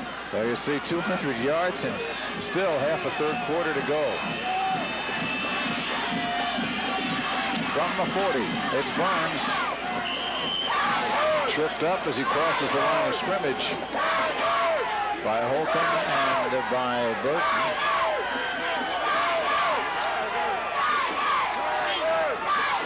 This is a tough defense for Barrington. Only allowed 10 points a ball game. And remember, even though they scored uh, a lot against uh, Naperville North, they held North when they had to. Well, the other interesting stat is that Barrington's secondary, now mind you, secondary only gave up three touchdown passes the entire yeah, season. You mentioned that, right? And they get torched for four in the first half. Butcher going long. Got his man number four for Eric McGoey with a little help from the secondary. Butera had a hand on it, went right to McGoey, 38 yards, touchdown Tigers. But you know what was great about that particular catch? The hand-eye coordination cannot be appreciated unless you've been an athlete and have been running down the field with the ball being thrown to you and it's deflected. And you've got to make that adjustment, that hand-eye coordination, and that ball was adjusted. And so what could John Thorne be angry about? He's having an animated discussion with Mr. Butcher here as he sets a new record. Here's the kick up and good by Barry Diener. And uh, 4.46 to go. It's 35 to 7. Take a look at the pass protection on this last play. We told you how tough it is and how well they're doing. They just, they double, or they constantly doubling if they can inside. And of course, the tackle, they're doing a little holding, which helps. But he gets the ball up in the air. And what you have to do is the ball is deflected. The great concentration. This is when you throw the ball 100 times in practice. Watch this concentration. The ball is tipped. He doesn't alter his route. He keeps going, and he has to make a hand-eye adjustment there, and that is just great athleticism. Ball tipped by Tim Meyer, and McGoey just took it in stride and went the rest of the way, 38 yards. His fourth touchdown and fifth touchdown completion for John Butcher. And the Wheaton Warrenville Tigers up for the kickoff. And are just dominating, absolutely dominating. Well, it's a fast strike offense, and it's just it's just so hard to defend this extremely talented group of Wheaton South football players. Coleman at his own 18. Dancing, dancing, dancing.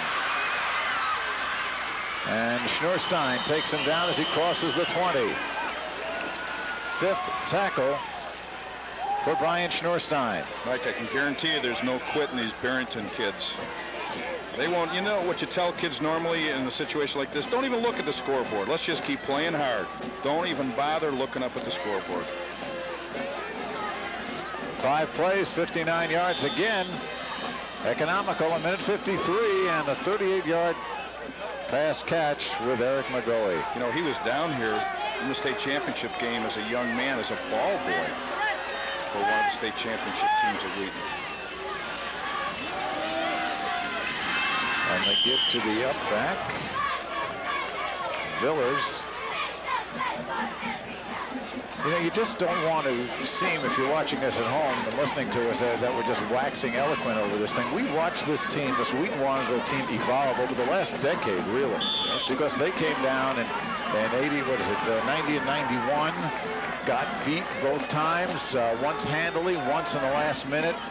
And then in 92, they broke through with an incredible victory, and they just keep developing that tradition. And you see it. You see it in Mount Commerce. You see it in the Joey Prophets as a sack of Sagehorn by Ketterhagen.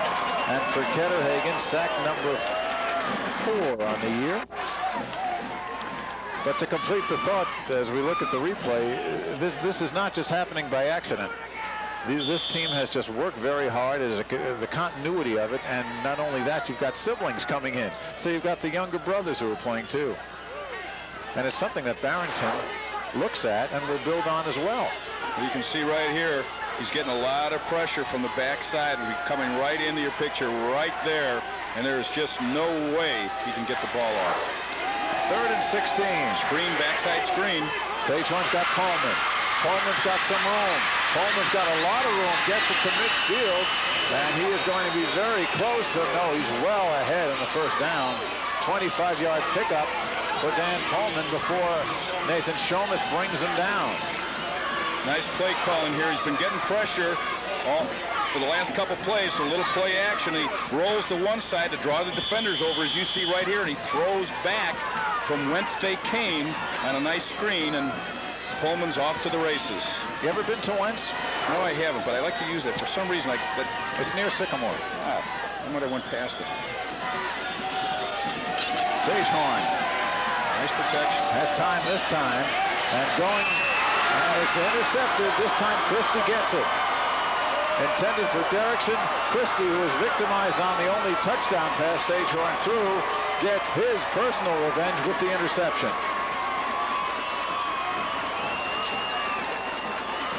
Well, you try to make something happen, and he kind of forced that. Uh, the defender had good coverage on it. He had excellent protection here. I think he just wants to get on the board. He's just he's just overthrown his arm here. There was not a good route, and the, and the defender just made a nice play on the ball. You can see right here, he's got the leverage through the entire, and he goes right up, right up to get it at the highest point.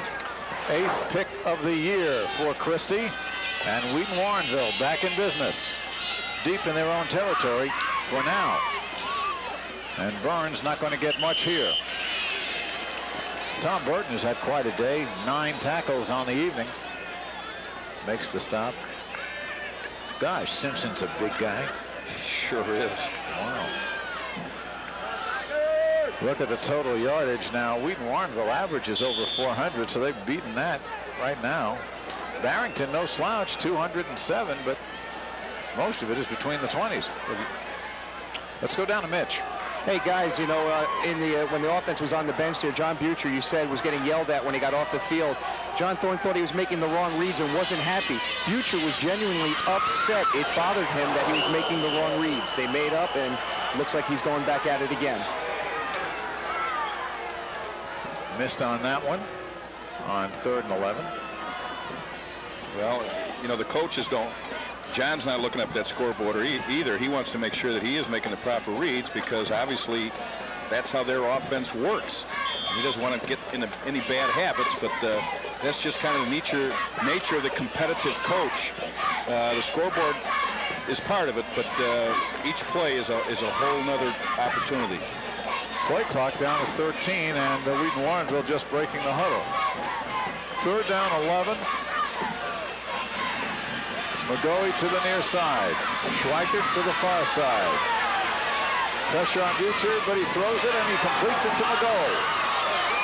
Across the 30, first down. Now there's a mechanic that we have not seen him do tonight. That really is the first time that he has thrown the ball actually on the run out of the cup. Originally, he, he drifted out a little bit because there's an awful lot of running room to the outside. Uh, right in here, he's just sitting in the shotgun, but you can see the, coll the collapse of the line right there. He sees a big hole, but you can see how well he throws the ball on the run. Butera and Derrickson on the tackle. And it's a first down for Wheaton Warrenville. The clock now at a minute 49. You can see right here, he's sprinting out a little bit. Nice throw.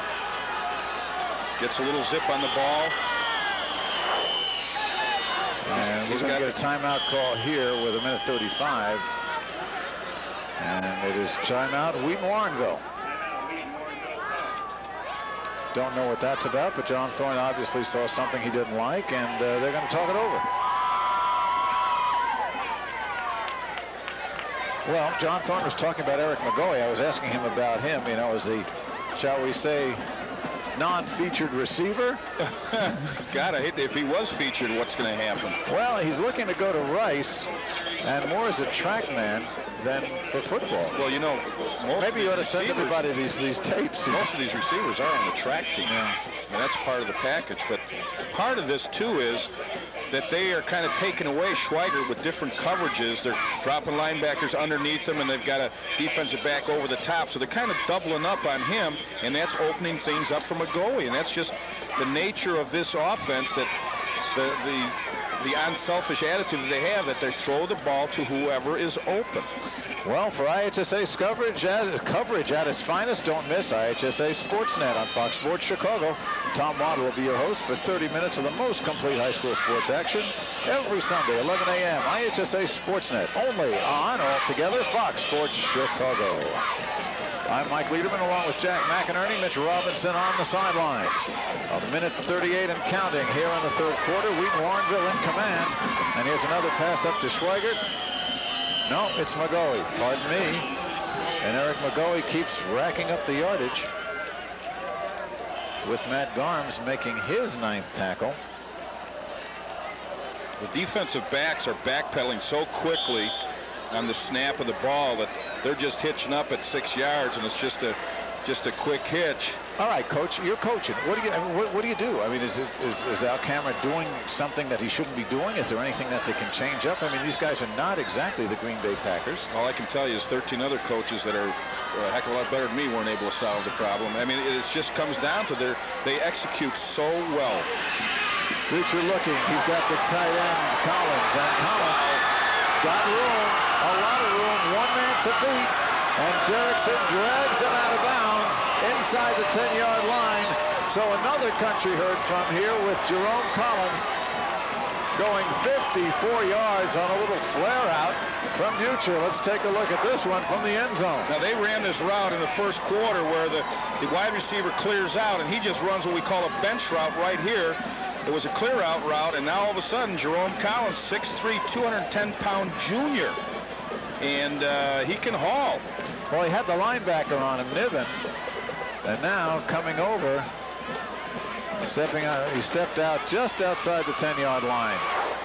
Back to live action, first and goal from the nine. Fade route. Here it is again. Six. All along Schweigert. No contest. They have such tremendous confidence in that play that it's it's actually is automatic for them. And one-on-one -on -one coverage. Well, when you're down here, there's not a heck of a lot you can do because you can't drop out linebackers. You're in a goal line scenario. It almost forces you go into to single coverage. But, you know, they play when they, they get down inside the five, they just run that fade. And if you play outside them, take away the fade, they run the slant inside. Close-up of Barrett Diener, and there's a close-up for the extra points, sailing right between the uprights. One minute, 14 seconds here in the third quarter, and Wheaton Warrenville has tacked on another seven. Nothing more than just a, a quick one-step delivery, throws it up in the corner of the end zone, and he's just wide open. He just made a real quick move and uh, beat Joey Becerra on that corner route. And this is a situation where you know, you practice this constantly, and it's not, you say, well, gee, that looks awful easy. Well, it's, it's not as if they don't practice this. He has to put the ball on the money, and he has to make the route, nice catch and a nice throw, and it's something they've been doing all year long. Now maybe Coach won't yell at me. Well, happy bunch of Tigers. Well, part of the part of this package is, you know, there's other teams that throw the ball a lot, but they are so four-dimensional. They've got four wide receivers that they can go to, and that is what really hurts the defense. If you only have one wide receiver, then they can take him away and force you to go to other people. But you can see right here what's happening. They take away Schweigert, they go to McGoey. They take away McGoey, they go to Schweigert or to Collins or to Kanak. I mean, it's just, they got four excellent receivers. Butcher, 28 completions, that's a record. 488 yards, that's a record. Six touchdowns, that's a record. Coleman picks it up eventually and stopped right in his tracks by Nick Duffy and company. A minute nine. Well, here's the muff. Well, that's uh, a coaching point where we tell the kids, keep your elbows in. He had his elbows out, and the ball just dropped right in between. You know, it's really a shame. You look at El Kamrat here, just a, a tremendous year, but it was just kind of the luck of the draw to come down here and run into a team that probably would have beaten any team in the last 25 years of this state championship on a given evening like tonight. They're just working you think, on all you cylinders. think they're the best? I mean, there are a lot of people, a lot of teams you can compare it to, and you've been around Jack a lot longer than I, but I have to tell you, in the, what is it, 11, 12 years we've been doing this together, I have never seen, I have never seen an attack like this. I mean, you can go back I think that 1A game where, where uh, Hardin Calhoun won over Sterling Newman, I think 49 to 6 back in 1993. But much of that was uh, the weather conditions. It was a sheet of ice, and Hardin was very good. But here, as you said, and you said early, they're playing on a different level. They really are, and, and it's unfortunate that Barrington, it's got to be their year to play this particular team. I just wonder who wins with Mount Carmel and uh, Wheaton. Well, Mount Carmel will probably control the ball a little longer. Sagehorn has it picked off. And going down, this is Shomas. Shomas inside the 25.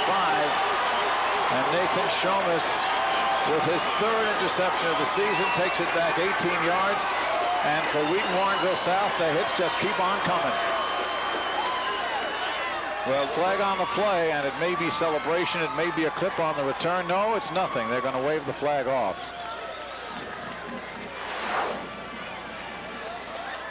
Well, he drops back here, and he's trying to get the the tight end in here to hold that safety, but that safety never bites on it, and he's hoping to get that safety out of there with that tight end so he can run the post route. He never moves, and he throws it right into coverage. Timmy and Meyer, the intended receiver, and Shomas is ooh right there. Whoops. Ooh. He didn't feel a thing.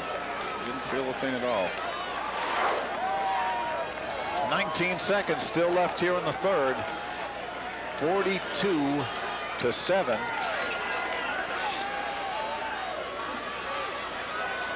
Fifth turnover for Barrington. Wheaton Warrenville with the one interception. Future, look at the old fade route again. He's got it. Does he have it? Whitcanack can't hold it. That ball was right on the money, right on the fingertips. Well, but you know what we saw right there? They are human. Well, yeah. They are human. Ryan Whitcanack, I keep wanting to call him Kevin because uh, Kevin's his brother. And the Tiger cheerleaders. Yes, ladies, we know how good you feel.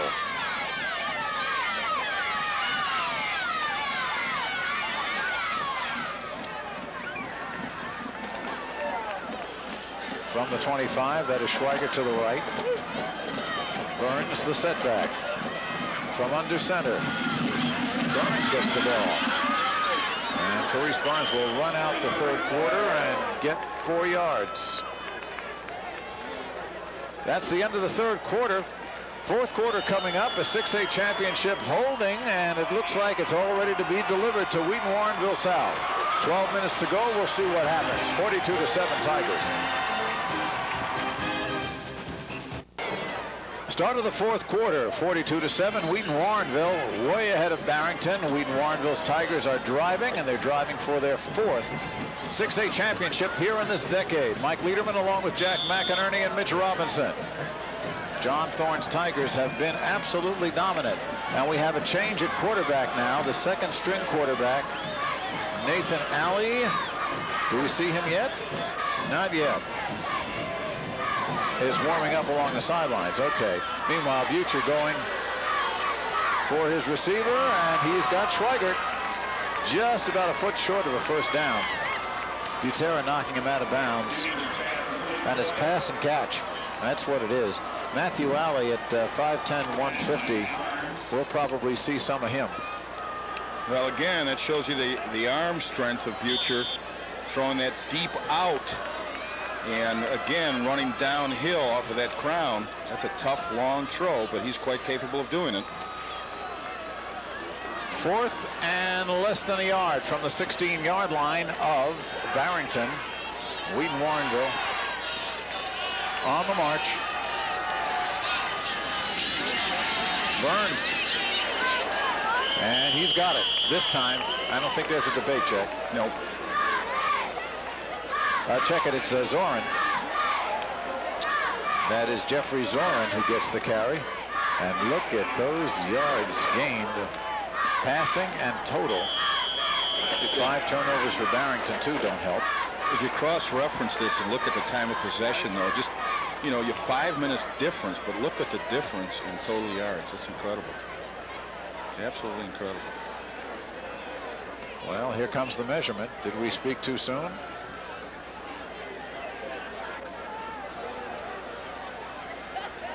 There's still a debate. No. Oh. Well, the ball does go over, and let's go back to uh, Mitch Robinson. He's got a special guest. Actually, Mike, I'm uh, about 50 feet below you in the upper decks up here. Eric McGoey's dad, uh, what's the matter? You guys couldn't get the, the front row seats?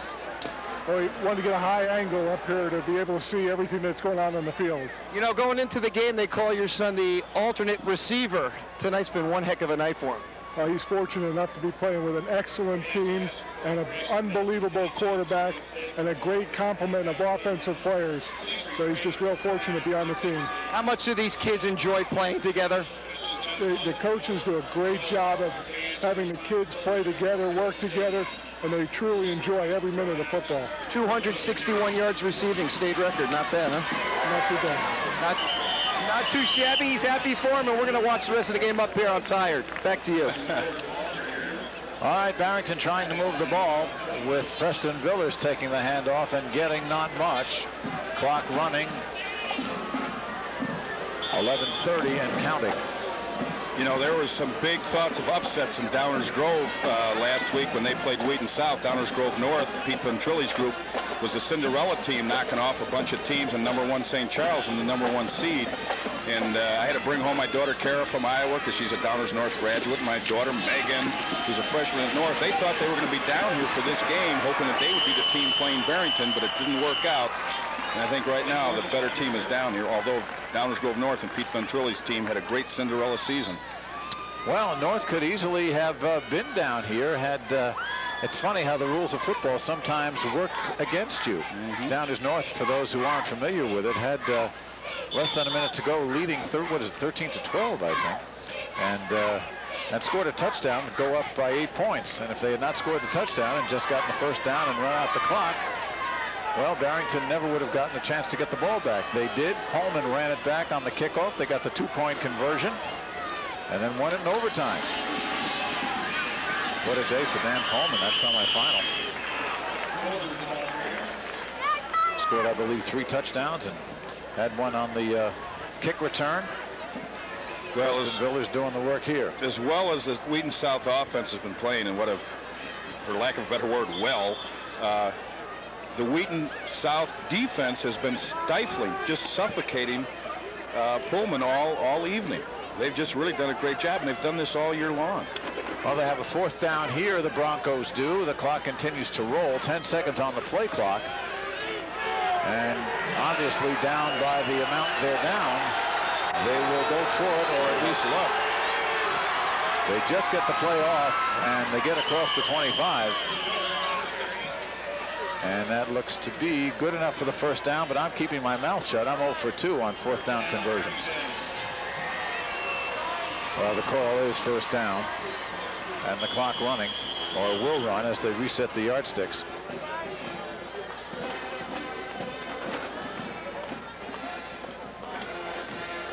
Well, we've had a, an awful lot of uh, powerful teams down here with uh, Providence and the teams of the 90s, really, Providence and Mount Carmel and in Wheaton South. All three of those programs have really been the strong, powerful teams of the 90s. Absolutely. And the thing about Wheaton South, again, there's so much variety in the offense as Pullman goes around his left end. And he gets 10 yards. I think you hit it, Jack, when you talk about the technique that this team has, this Wheaton South team. They, they really play the game beautifully on all levels. And that's not to disregard the usual, you know, rush, uh, push the ball down your throat football that a lot of teams play, but they have such a sophisticated passing attack, and yet they can have a they can have their running back go for 200 plus yards, and they can have their defense shut teams down. Talk about the whole package. This is Pullman. And Pullman gets about five.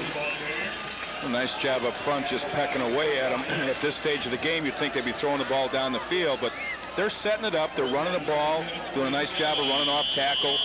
And uh, Pullman's been the man that they go to all year long. And, of course, uh, that sets up the play-action pass. Only three first downs this half for the Broncos. That was the uh, third that uh, Pullman just made. They really haven't had the ball all that much in the second half.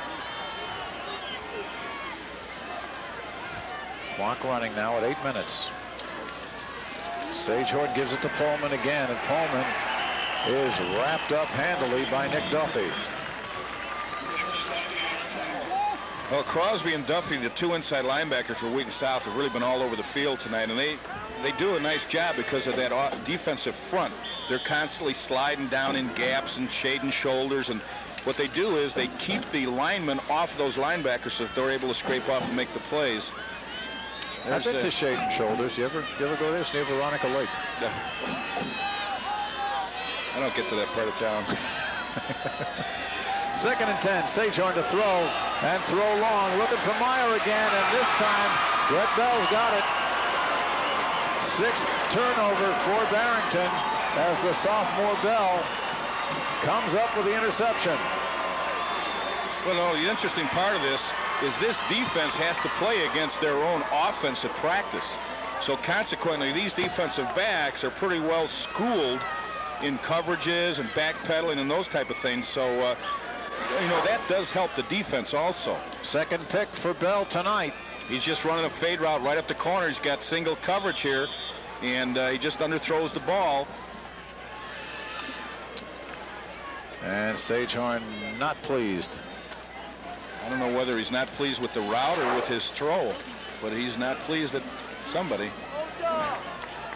Interceptions by Crosby, a couple by Bell, Shomas, and Christie. And Wheaton Warrenville back in business with Butcher. And this is Burns with a lot of room, breaking tackles. Look at Burns go. Carice Burns thrown out of bounds by Derrickson just short of the 50. Burns is showing us something tonight. 23 yards on that scamper. Breaking tackles along the way. Well, so what it is is what we call a uh, sprint draw or a stretch lead. And now right here is the athleticism where he's able to cut back. And he's got excellent speed, and he's only a junior. And he had 1,200 yards this year. He averaged seven seven yards a carry, and he scored 18 touchdowns. So uh, 10, 180. He's, he's he looks good. taller than that. On the field, we saw him. I thought he was taller than that then. Whitcanack in motion, and the whistle before the snap.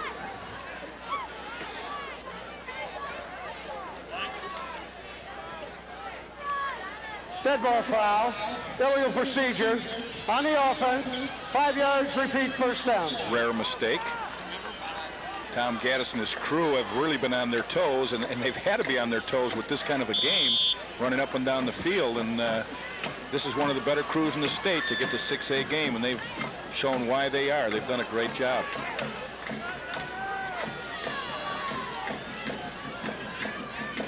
First and 15 from the 44. And the delay. Burns gets not much. Maybe a yard or two. Rewriting the record books for this one.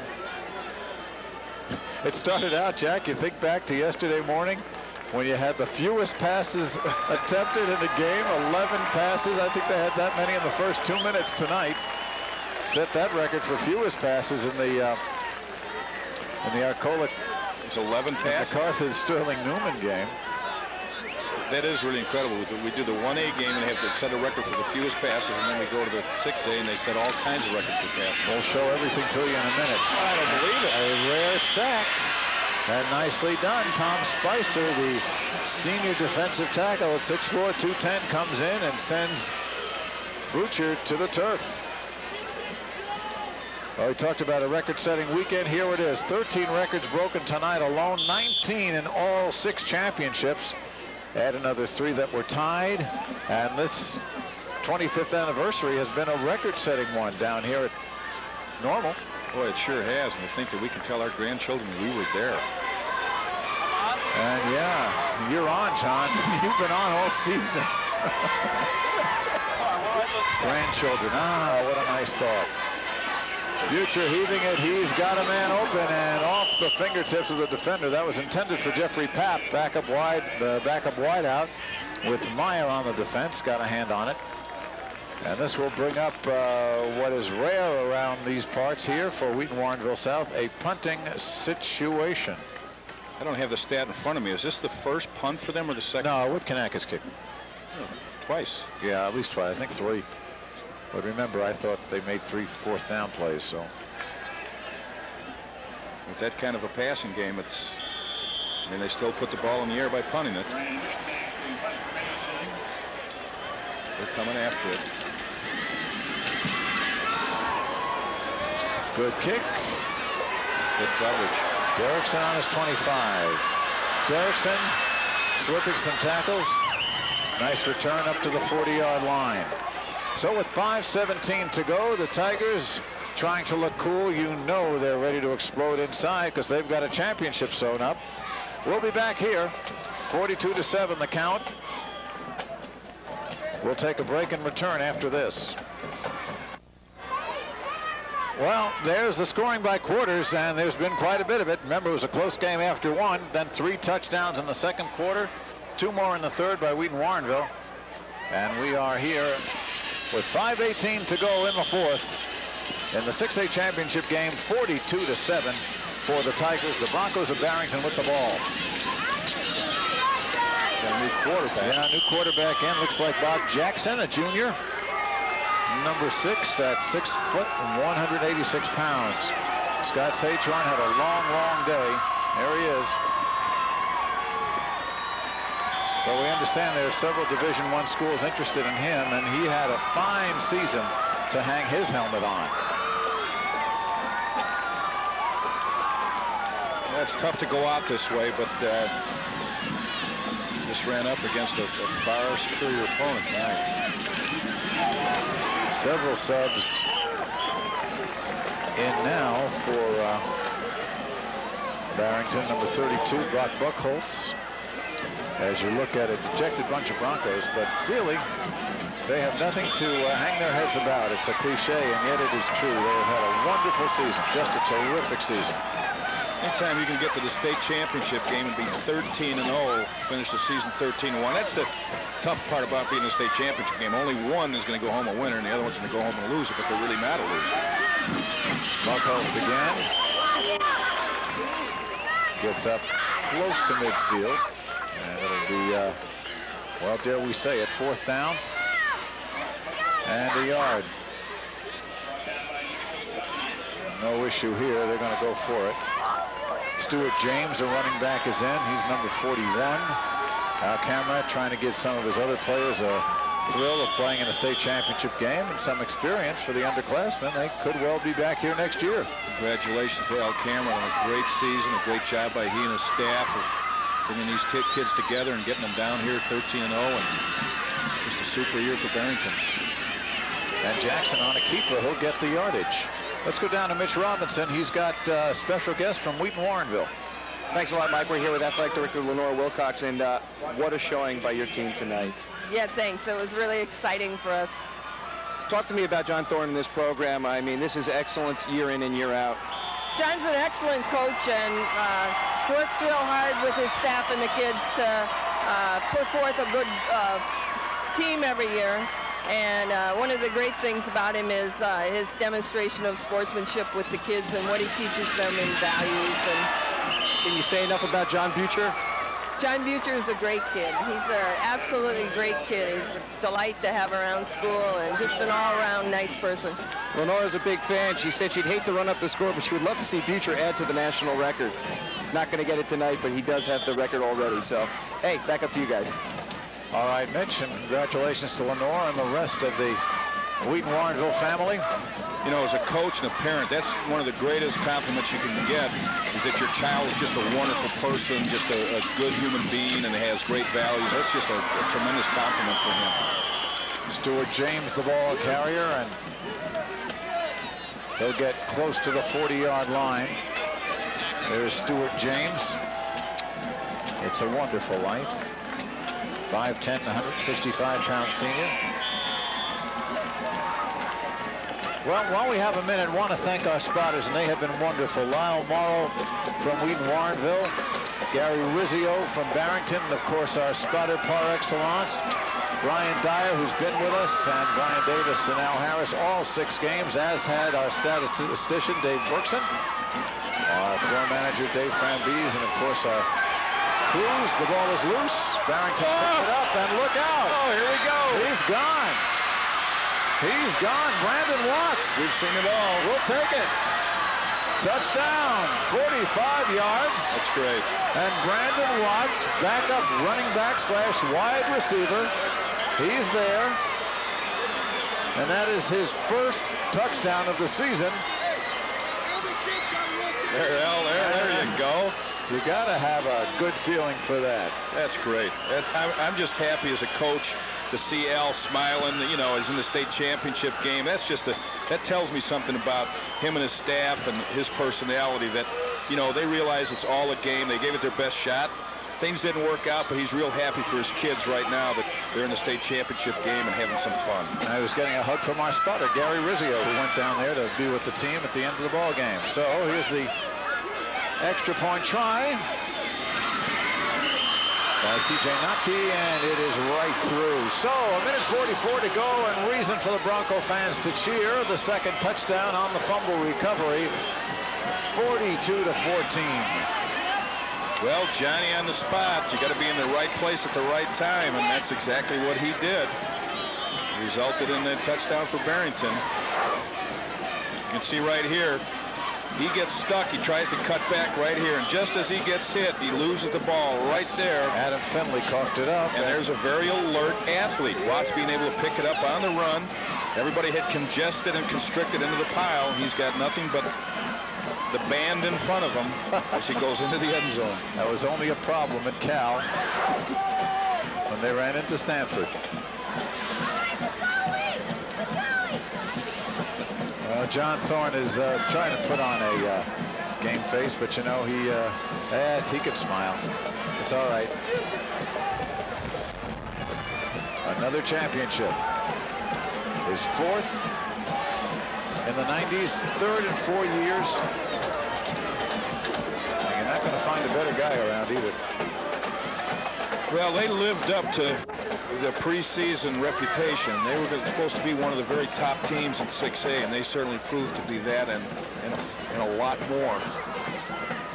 This may redesign Illinois high school football because when somebody is so good at this, granted you have to have the talent, but here's the onside kick try, and it looks like Barrington may have a shot here.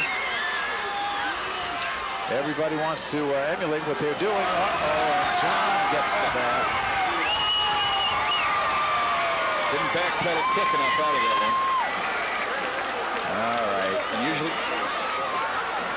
Well, while he congratulates his players, our Pepsi players of the game, the whole Wheaton Warrenville South offense, look at those totals. 613 yards gained, 494 passing yards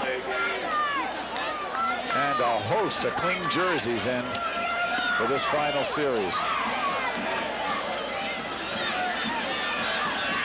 One of their 17 formations here. Alley is the quarterback. Double pass. He's wide open. He's throwing, he's throwing, he's throwing. And I don't know about that. Well, have some fun, I guess, but uh, Chris Johnson, the intended receiver, and Barrington fans didn't like that too no, much. No, not not the kind of thing. I don't think John called that play. Doesn't look too happy about that. Fans not appreciating it at all, and uh, you kind of wonder. Yeah, Chris Johnson, the intended receiver, and there we go. Teach the guys how to do it. Oh, yeah. They also just got through Drench and Ron Muhich, the defensive coordinator for Wheaton South. Well, we're just happy it's water. Alley on the quarterback draw, and he gains about three. It is amazing the amount of records that have been set tonight and this entire weekend. And especially on the 25th anniversary of the, of the tournament. Makes it kind of special. Alley's thrown for one touchdown, four interceptions this year, and we head to the final 60 seconds. Third down, seven. get a flag here, I think. Play clock still has nine seconds to go, and now Alley will call a timeout. They, they were. They had a substitute that they ran out at the last second. He was never in the huddle, and he would have gotten a penalty, so they call the, call a timeout. Again, the Barrington fans not not appreciating I, that. I don't think they realized why they called that timeout. It wasn't to stop the clock so they could get a few more plays. It's so they didn't get the penalty on that last play.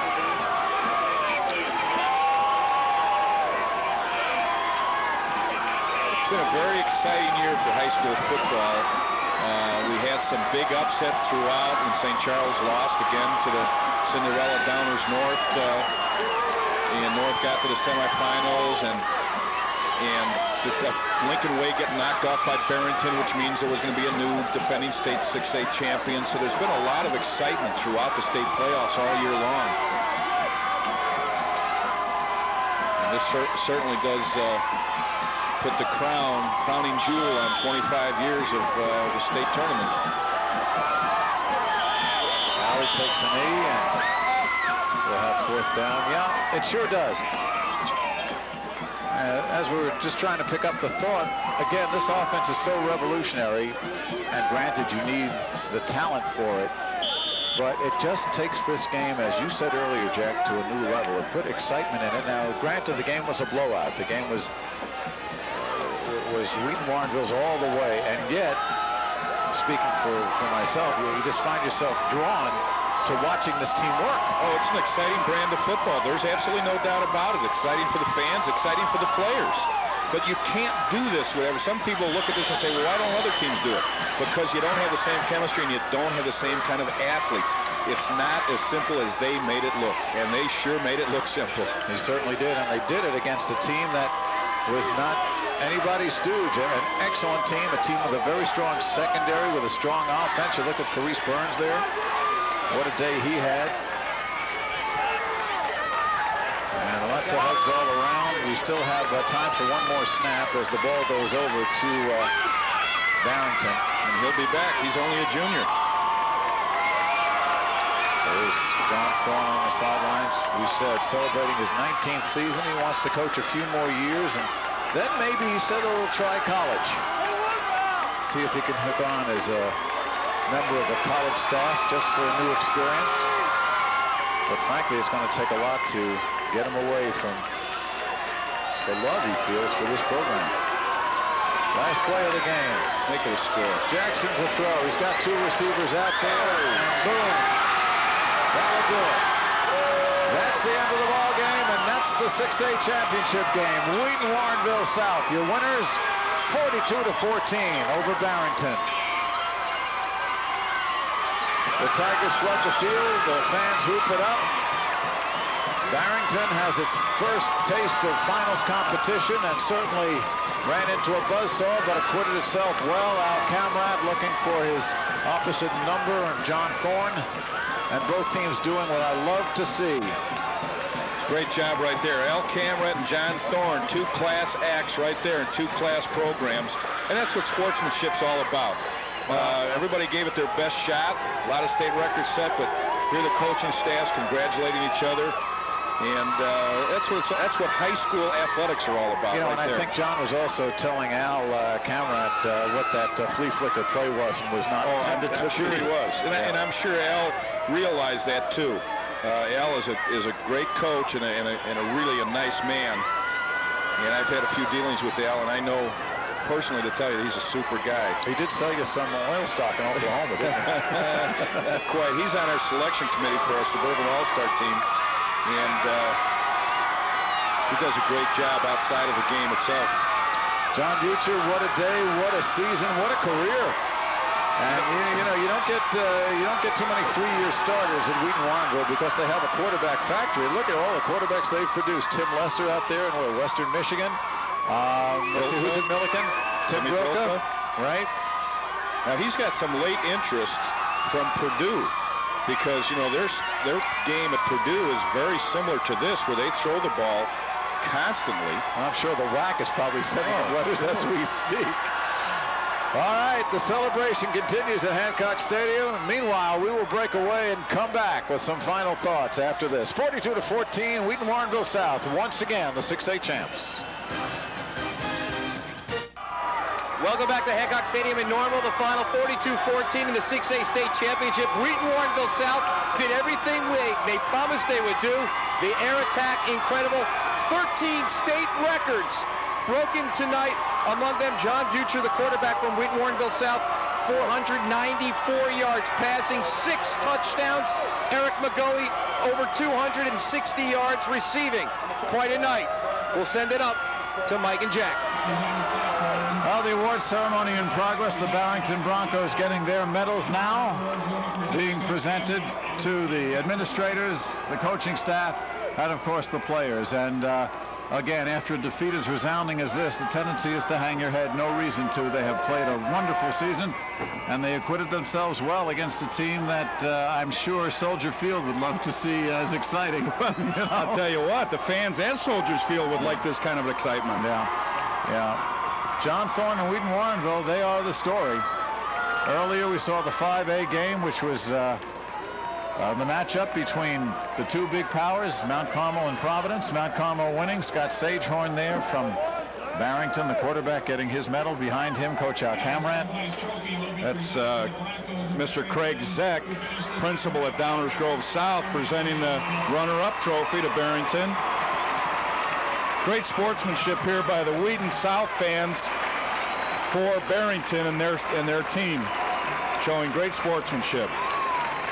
Both sets of fans filling up this place on either uh, bleachers, the east and west bleachers. I would say there were eight or 9,000 people here tonight. Al Kamrat congratulating his players and uh, they'll be back. They've got a, a young nucleus, and of course uh, with the the backfield coming back, the fullback and the tailback, they've got a, a, nice cast. Well, they proved something tonight, too. They proved something very important. Al Kamrat told me today before the game, he said, you know, the image Barrington has, uh, has as this leafy suburb where they have everything they want and winning isn't that important. He said, we're just taking that stereotype and smashing it to bits. Winning is very important to us. Our kids are competitive, and we play well and we play hard, and they certainly do, and they certainly did. Well, they kid them about that, but they're as competitive as anybody else, obviously, and so is Al, and, and all the kids they have is demonstrated by their outstanding basketball program. They've got a great baseball program, and uh, it's just a great athletic program up there. Now when it comes to programs, here's number one. Eric Aster and company. Pat Crosby. Crosby playing tonight. He was injured, had a broken bone in his foot last year. That was tough to come around in the hospital yesterday. He played. John Thorne, what can you say? We said it about him, and it keeps building, keeps building. Well, he is a chemistry teacher, isn't he? I'm math. Sure, math teacher. Well, he ought to be doing chemistry too, because he certainly does know how to put chemistry. these kids together. Don Robinson come up with an awful good product. Yeah, that's a good point.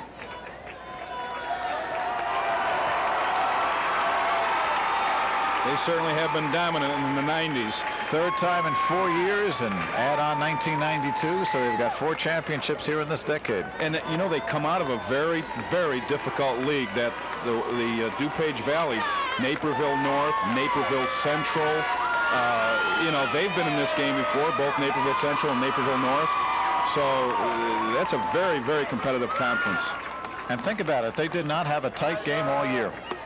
No, they haven't because and it's not because people weren't used to this kind of an offense. Coaches know how to defend certain things, but the great athleticism that they have and the, and the great chemistry and having four outstanding wideouts changes the whole dimension of things. The championship trophy hoisted above the heads of the players. You know, for teams that played Barrington, for example, they have a, a quarterback that throws for 2,000 yards. Every coach would be concerned about that. And they'd be saying, how do we stop these guys? And then you go against a quarterback that has 4,000 yards and 59 touchdowns. I mean, it's it's mind-boggling. In many respects, it's redefined uh, the way this game is played right now. You don't want to liken it to anything as radical as the T formation or the shotgun offense, and yet there is some of that. The ease with which they dispatched opponents may make a lot of coaches go back to the drawing boards and look at this and see, well, how can we adapt it so it works for us? Now, maybe, you know, Mouse Davis's run and shoot, which was big for a year, um, it might, you know, it might not happen, but I think a lot of coaches are going to be looking at this very closely. We'll be back.